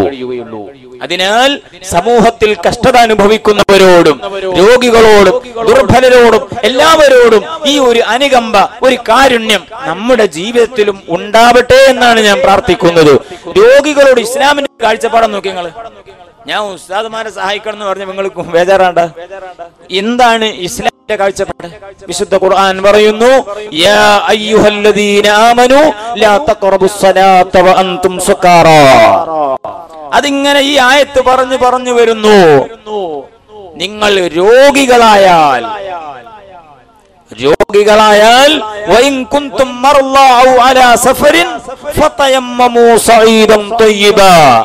കുളി നിർബന്ധമായ ഒരാൾ. അയാൾക്ക് കുളിക്കാൻ പറ്റുന്നില്ല വെള്ളം ഉപയോഗിക്കാൻ കഴിയുന്നില്ല അല്ലെങ്കിൽ വുളു നിർബന്ധമായ ഘട്ടത്തിൽ വെള്ളെടുക്കാൻ പറ്റുന്നില്ല. ആ ആളോട് ഈ മതം പറ്റില്ല കഴിവില്ല. നീ എന്തായാലും വെള്ളം കൊണ്ട് തന്നെ കുളിക്കണം വുതു എടുക്കണം അങ്ങനെ നിയമം ഇസ്ലാമിലില്ല. ശുദ്ധമായ മണ്ണെടുത്തിട്ട് നിനക്ക് കുളിക്കാം നിനക്ക് തയമ്മും ചെയ്യാം. കണ്ടോ ഇസ്ലാമിൽ രോഗികളോടുള്ള പാവപ്പെട്ടവരോടുള്ള രോഗികളോട് സമീപനം? നിസ്കരിക്കാൻ ഒരാൾക്ക് പറ്റുന്നില്ല. നിന്ന് നിസ്കരിക്കാൻ പറ്റുന്നില്ല. പറ്റില്ലടോ നീ നിന്നിട്ട് എന്നെ നിസ്കരിക്കാവൂ. അങ്ങനെ ഇസ്ലാമിൽ ഒരു നിയമല്ല നിങ്ങൾ കേട്ടിട്ടുണ്ടോ? Imran bin Husain. Imran bin Husain റളിയല്ലാഹു അൻഹു മുത്തുനബിയുടെ സമീപത്ത് നിന്നിട്ട് പറഞ്ഞു ഞാൻ അർശസ് രോഗിയാണ് നബിയെ എനിക്ക് നിന്ന് നിസ്കരിക്കാനൊക്കെ ഇച്ചിരി വലിയൊരു വിഷമത്തിലാണ് ഞാൻ ഉള്ളത് ആ സമയത്ത് നബി തങ്ങൾ പറഞ്ഞു. നിന്നിട്ട് നിസ്കരിക്കണം. ഇരുന്നോ ഇരിക്കാനും പറ്റുന്നില്ലേ? നീ ചെരിഞ്ഞ എന്റെ പാർശ്വഭാഗത്തിൽ നീ കിടന്ന് ചെരിഞ്ഞ് കിടന്നിട്ട് നിസ്കരിച്ചോ വിരോധമല്ല. അപ്പൊ ഞാൻ പറഞ്ഞു വന്നത് രോഗികളോടുള്ള ഇസ്ലാമിന്റെ കാഴ്ചപ്പാടും സമീപനവുമാണ്. എന്നാൽ നോമ്പിലും അങ്ങനെ തന്നെയല്ലേ? നോമ്പ് ഇപ്പൊ നോൽക്കാൻ പറ്റുന്നില്ല എങ്കിൽ. ഒരുപാട് ഉദാഹരണങ്ങൾ പറയാനുണ്ട് സമയമില്ലാത്തതുകൊണ്ട്. ഹജ്ജിൽ വിട്ടുവീഴ്ച ഹദീസുകളൊന്ന് നോക്കൂ. ഇതാ മരിതൽ അബ്ദു ഒരു അടിമ രോഗിയായാൽ നമുക്ക് ദുആ ചെയ്ത് പിരിയണം ഈ സഭയിൽ ഒരു അടിമ രോഗിയായാൽ ആരോഗ്യമുള്ള സമയത്ത് അവൻ ഏതൊക്കെ കർമ്മങ്ങൾ ചെയ്തിട്ടുണ്ടോ അതിന്റെ മുഴുവനും പ്രതിഫലം ഈ കൂട്ടത്തിലെ രോഗികളായാൽ അള്ളാഹു മനുഷ്യന് കൊടുക്കുകയാണ് മനസ്സിലായോ? ആരോഗ്യമുള്ളപ്പോ ചെയ്യണം. ആരോഗ്യമുള്ളപ്പോ താഴോട്ട് നോക്കിയിട്ട് പിന്നെ രോഗിയായിട്ട് ഇനി എന്ത് ചെയ്യാൻ പറ്റും ചിന്തിക്കലല്ല. ആരോഗ്യമുള്ള സമയത്ത് അവൻ ഫർളും സുന്നത്തും ഒക്കെ നിർവഹിച്ചു. രോഗിയായപ്പോൾ അയാൾക്ക് സുന്നത്ത് നിസ്കരിക്കാൻ പറ്റുന്നില്ല. എന്നാൽ ആ സുന്നത്ത് നിസ്കാരം ആരോഗ്യമുള്ള സമയത്ത് നിസ്കരിച്ചല്ലോ. കൊണ്ട് തന്നെ അതിന്റെ പ്രതിഫലം ഇപ്പൊ രോഗം കാരണം സുന്നത്ത് നിസ്കരിക്കാൻ പറ്റുന്നില്ലെങ്കിൽ ആയതിനാൽ ആ സുന്നത്തിന്റെ പ്രതിഫലം കൂടി അള്ളാഹു താല കൊടുക്കുമെന്നാണ്. നബി സല്ലല്ലാഹു അലൈഹി വസല്ലം പറയുന്നു ഇദാ കാനൽ അബ്ദു യഅമലു അമലൻ സാലിഹ ഒരാൾ നല്ല ഒരു അമൽ ചെയ്താൽ ഫശഗലഹു അൻ മറദിൻ. ഇപ്പൊ നോക്കുമ്പോ അയാൾക്ക് ചെയ്യാൻ പറ്റുന്നില്ല. നേരത്തെ കുറെ പത്ത് ഒരു ജുസും രണ്ട് ജുസും ഒക്കെ ഖുർആൻ ഓതിയിരുന്ന ഒരാൾ. ഇപ്പോൾ കാഴ്ച കുറവ് കൊണ്ടും രോഗം കാരണം കണ്ടും അത്രയും ഓതാൻ പറ്റുന്നില്ല. എന്നാൽ കുത്തിവലവോ നേരത്തെ ഓതി അത്രയും പ്രതിഫലം അള്ളാഹു നൽകുന്നതാണ് രേഖപ്പെടുത്തുന്നതാണ്. ഒന്നുകൂടി നോക്കണം. ഞാൻ ഈ സഹായം പറഞ്ഞപ്പം ഇസ്ലാമിൽ പാവപ്പെട്ടവരോടും രോഗികളോടൊക്കെയുള്ള ഒരു കരുണ അനുകമ്പ. ഈ ഉസ്താദുമാരുടെ കുടുംബത്തിൽപ്പെട്ട രോഗികൾ ഇപ്പൊ തന്നെ ഈ നഗർ തന്നെ ഒരു വാർത്തവിസ് പേര് മറന്നു വാർത്തവി ഉസ്താദ് ഒരു മരണപ്പെട്ടു പോയി. അവരെ കുടുംബത്തിന് ഈ സംഘം ആത്മാർത്ഥമായി സഹായിച്ചിട്ടുണ്ട്. അപ്പം അങ്ങനെയുള്ള പാവപ്പെട്ടവരെയും വിധവകളെയും അനാഥകളെയും അവരുടെ ചികിത്സകളെല്ലാം ഈ ഫണ്ടിൽ നിന്ന് കൊടുത്തുകൊണ്ടിരിക്കുകയാണ്. ഇതൊക്കെ ഒരു ഒരല്പം കൂടി നേരത്തെ ചിന്തിക്കേണ്ടതായിരുന്നു. അലഹമില്ല ഇപ്പോഴെങ്കിലും ചിന്തിച്ചല്ലോ. അത് നല്ല രൂപത്തിൽ നടന്നുകൊണ്ടിരിക്കുന്നു. അത് ഇൻഷാല്ല ഒന്നുകൂടി ആത്മാർത്ഥമായിട്ട് മുന്നോട്ട് നീങ്ങണം. അള്ളാഹുത്താല എല്ലാ കഴിവുകളും വളർച്ചയും ഉയർച്ചയും ഈ സംഘത്തിനും സംഘടനക്കും അള്ളാഹു നൽകുമാറാവട്ടെ എന്ന് പ്രാർത്ഥിക്കുകയാണ്. ചുരുക്കത്തിൽ ഒന്നുകൂടി കേൾക്കുക. രോഗികൾക്ക് നമ്മൾ കൊടുക്കുന്ന ഒരു ആശ്വാസമുണ്ട്. പക്ഷെ അള്ളാഹു രോഗികൾക്ക് എന്ത് പൈസ കൊടുക്കണേ? നോക്കി നമ്മളിപ്പോ ഒരു ക്യാൻസർ രോഗിയോ ഒരു കിഡ്നി തകരാറായ രോഗിയോ വന്നാൽ നമ്മൾ അവർക്ക് പത്തോ ഇരുപതോ നൂറോ ആയിരോ കൊടുക്കുകയാണ്. എന്നാൽ ഈ രോഗിയുടെ അള്ളാഹുവിന്റെ കാഴ്ചപ്പാട് എന്താണ്? അള്ളാഹുവിന്റെ ഹബീബായ മുത്തുനബി പറയുന്നു അനീനുൽ തസ്ബീഹ് ഒരു രോഗി അവന്റെ ശരീരം വേദന കൊണ്ട് പൊളയുകയാണ്. വേദന സഹിക്കാൻ കഴിയാതെ അയാൾ ഇങ്ങനെ നിലവിളിച്ചു കരയുകയാണ്. ആ രോഗി വേദന കൊണ്ട് കരയുന്ന കരച്ചിൽ തസ്ബീഹിന്റെ കൂലിയാണ്. സയ്യിദുൽ വറാ മുഹമ്മദ് റസൂലുള്ളാഹ്. ആർ സി സിയിലൊക്കെ പോയി നോക്കൂ. ക്യാൻസർ ബാധിച്ച ചെറുതും വലുതുമായ. പ്രസവം കഴിഞ്ഞ് ദിവസങ്ങളായ ഒരു കുട്ടി ക്യാൻസർ രോഗമായിട്ട് എറണാകുളത്ത് ചികിത്സയിൽ നടന്നുകൊണ്ടിരിക്കുകയാണ്.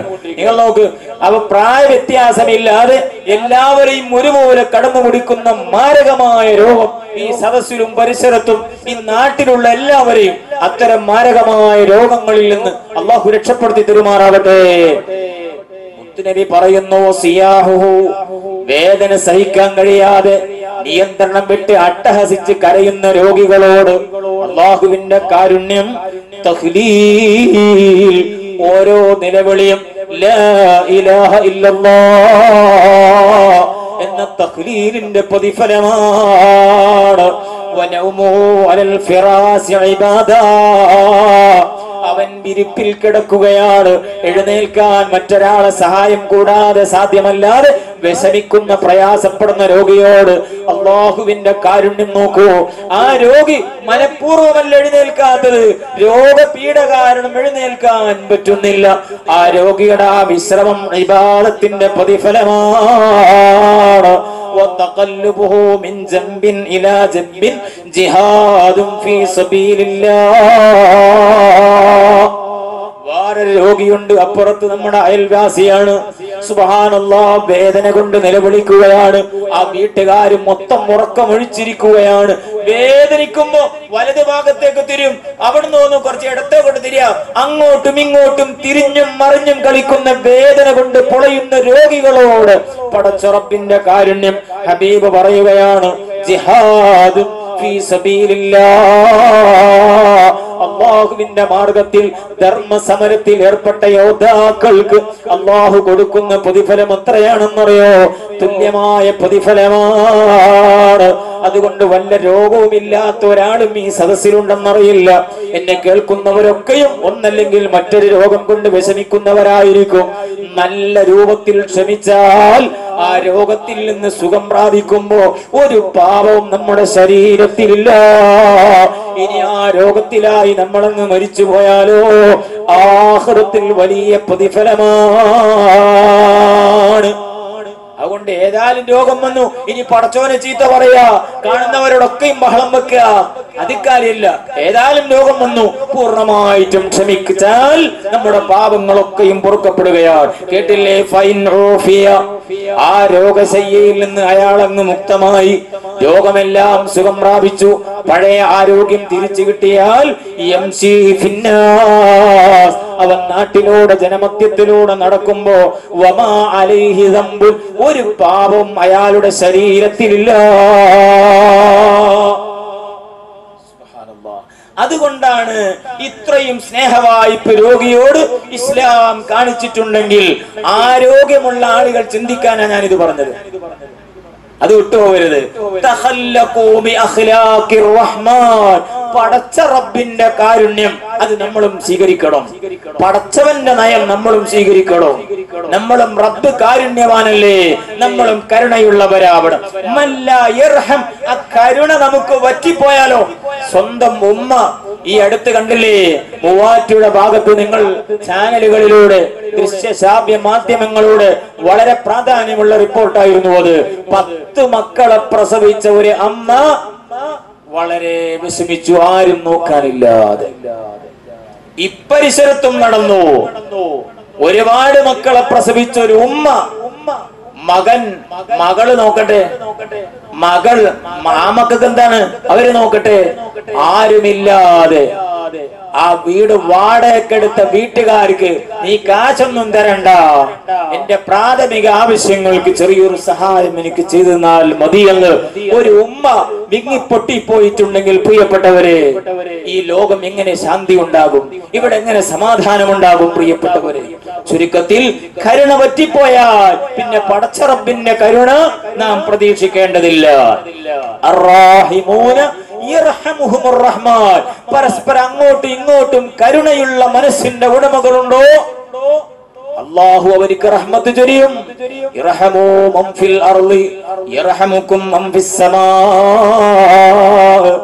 ഭൂനിവാസികളോട് എല്ലാ മനുഷ്യർക്കും എല്ലാ ജീവികൾക്കും എല്ലാവരോടും നല്ല കാരുണ്യം കാണിച്ചാൽ ഇറഹമുക്കും മൻ ഫിസ് സമാ.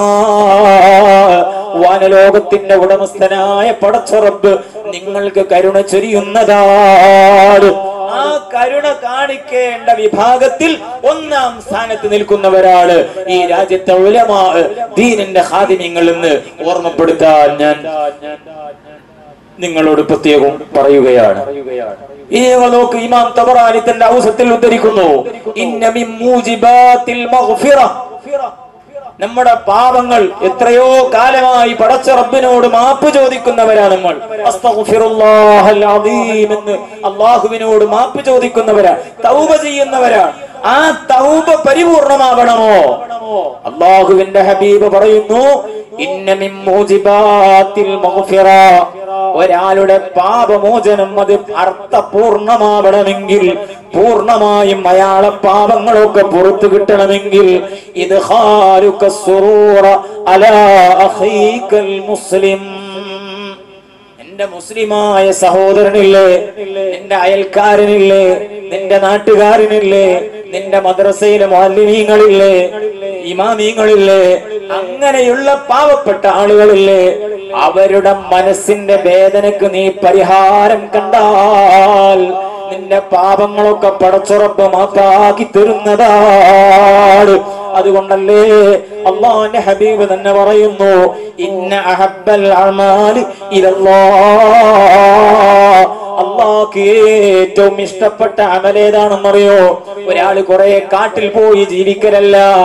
അല്ലെങ്കിൽ വേറെ എവിടെയെങ്കിലും പോയി ജീവിക്കലല്ല. കുറെ സുന്നത്തങ്ങ് നിസ്കരിച്ചു കൂട്ടലല്ല. കുറെ മാല മറിക്കലല്ല പടച്ചറപ്പിന് ഏറ്റവും ഇഷ്ടപ്പെട്ട അമലേതാണ് ഇന്ന അമാലി ഏറ്റവും ഇഷ്ടപ്പെട്ട അമൽ ഫറലായ നിസ്കാരം പോലെയുള്ള കാര്യങ്ങൾ എന്ന് കഴിഞ്ഞാൽ ഇത് അലൽ മുസ്ലിം. ഈ രാജ്യത്തെ പാവപ്പെട്ട മുസ്ലിമീങ്ങളില്ലേ ഈ രാജ്യത്തെ പാവപ്പെട്ട സഹോദരന്മാരില്ലേ നമ്മുടെ അയൽവാസികളില്ലേ നമ്മുടെ കുടുംബത്തിൽപ്പെട്ടവരില്ലേ അങ്ങനെയുള്ള ആളുകളെയൊക്കെ ഏതെല്ലാം രൂപത്തിൽ നമുക്ക് അവരെ സ്നേഹിക്കാനും സഹായിക്കാനും ഒന്നും കൊടുക്കാനില്ല. ആ വേദനിക്കുന്ന മനസ്സിന് ഒരു നല്ല സമാധാനത്തിന്റെ വാക്കുകൾ പറഞ്ഞിട്ട് ആ വേദനിക്കുന്ന മനസ്സിന് ഒരു സമാധാനം കൊടുക്കാൻ സാധിക്കുമോ? പടച്ചറപ്പിന് ഏറ്റവും ഇഷ്ടപ്പെട്ട അമൽ അതാണെന്ന് സയ്യിദുൽ വറ മുഹമ്മദ്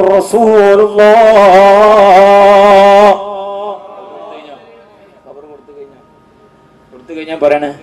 ഇനി നീട്ടണേ ശരിയല്ല. അത് സുലൈമാൻ കുഞ്ഞൊക്കെ പിന്നെ നേരം വെളുക്കുന്നവരാണ് ഇരുന്നോളൂ അപ്പൊ ഞാൻ അവസാനിപ്പിക്കുന്നു. ബർക്കത്തിന് വേണ്ടി ചെറിയ ഒരു സംഭവം. നമ്മുടെ ദുആ. ദുആക്ക് ഇജാബത്ത് ബഹുമാനപ്പെട്ട സൈനുൽ ആബിദീൻ അങ്ങനൊന്നും പറഞ്ഞാൽ ഞാൻ നീട്ടും. ഉറക്ക പറയുകയാണെങ്കിൽ അഞ്ചു മിനിറ്റിന്റെ ഉള്ളിൽ തീർക്കും. സയ്യിദിന സൈനുൽ ആബിദീൻ. വീട്ടിൽ പോകണമെന്ന് ആഗ്രഹമുണ്ടല്ലേ ഞാൻ പണി അടക്കട്ടെ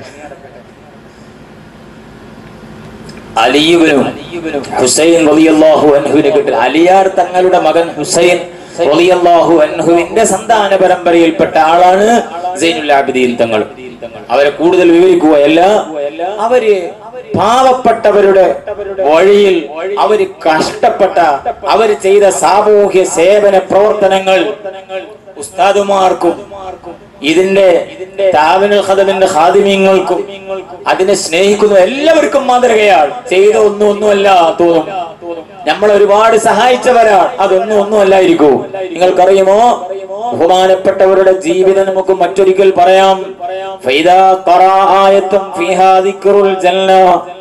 വിശുദ്ധ ഖുർആനിൽ സ്വർഗത്തെ പരാമർശിക്കുന്ന ഒരു ആയത്തങ്ങ് ഓതിയാൽ സ്വർഗത്തിൽ പോവാനുള്ള ആശയാണ്.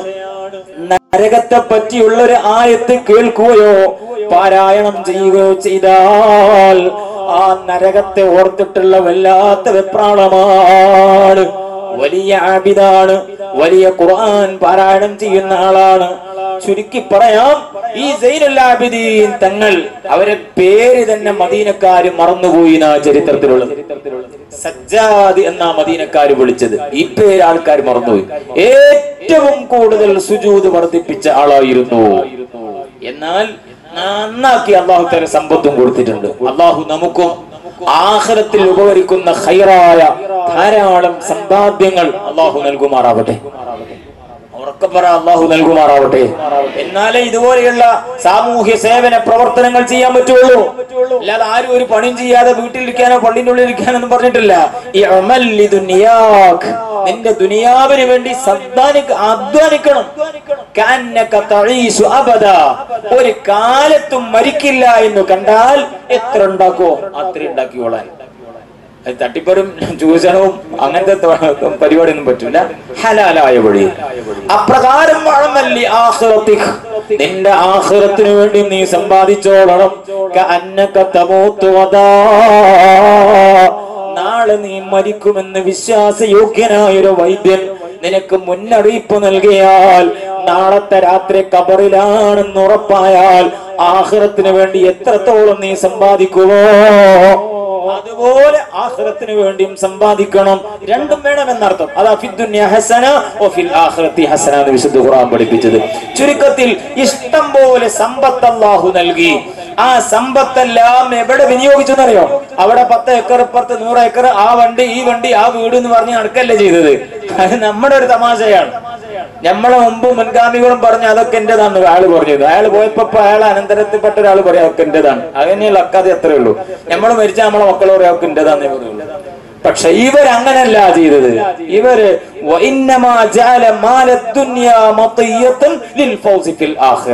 ആഖിറത്തിൽ വിജയിക്കാൻ വേണ്ടി ആ സമ്പത്ത് മുഴുവനും ഉപയോഗപ്പെടുത്തിയ ആളാണ് സൈനുൽ ആബിദീൻ റളിയല്ലാഹു എങ്ങനെ ചെയ്തു അറിയോ അത് പറഞ്ഞു നിർത്താം.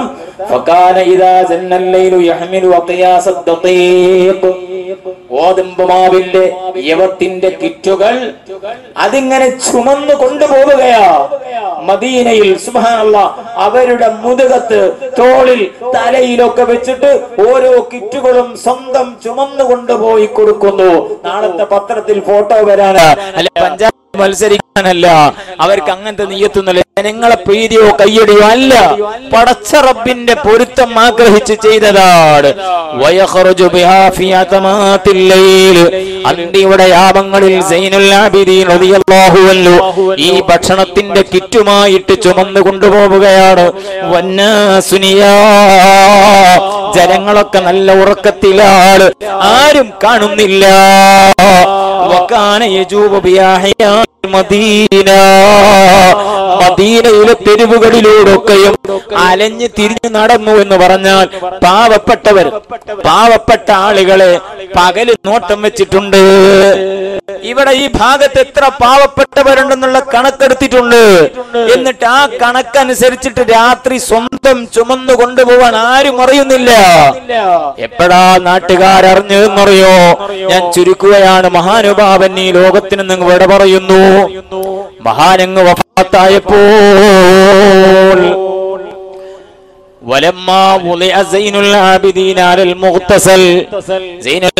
തങ്ങളെ മയ്യത്ത് കുളിപ്പിക്കാൻ ജനാസ കുളിപ്പിക്കാൻ വേണ്ടി കട്ടിലിൽ അങ്ങ് കിടത്തിയപ്പോൾ ആ വസ്ത്രമൊക്കെ അല്പം അങ്ങ് നീക്കുമ്പോഴാണ് അവിടുത്തെ മുതുകിൽ കറുത്ത രണ്ട് കറുത്ത വലിയ പാടികൾ കാണുകയാണ് വലിയ അടയാളം കാണുകയാണ്.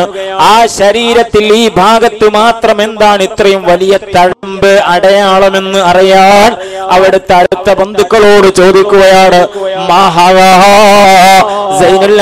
തങ്ങളെ ഞങ്ങൾക്ക് നല്ല പരിചയമാണല്ലോ. അവിടുത്തെ കയ്യിലും കാലിലും മുഖത്തൊന്നും കാണാതെ ഈ മുതുകിന്റെ ഭാഗത്ത് ഇത്രയും വലിയ കറുത്ത പാടെന്താണെന്ന് ചോദിച്ചപ്പോൾ അവർ കൊടുത്ത മറുപടി ഇന്നഹൂമിൻ ആസാരി ഹംലി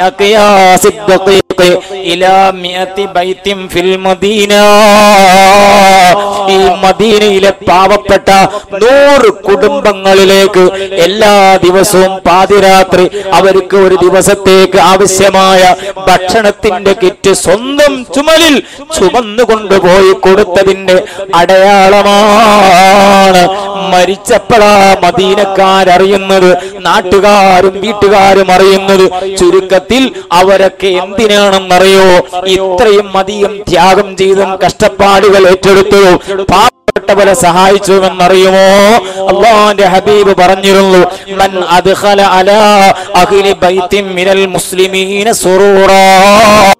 ഒരു പാവപ്പെട്ട കുടുംബത്തിന്റെ ഒരു സമാധാനത്തിന് അവർക്കൊരു സമാധാനം നൽകിയാൽ ഒരു നേരത്തെ കഞ്ഞിക്കുള്ള വക നൽകിയാൽ ഒരു ദിവസത്തെ മരുന്നിന് ആവശ്യമായ തുക കൊടുത്താൽ ലഹു സവാബൻ ജന്ന.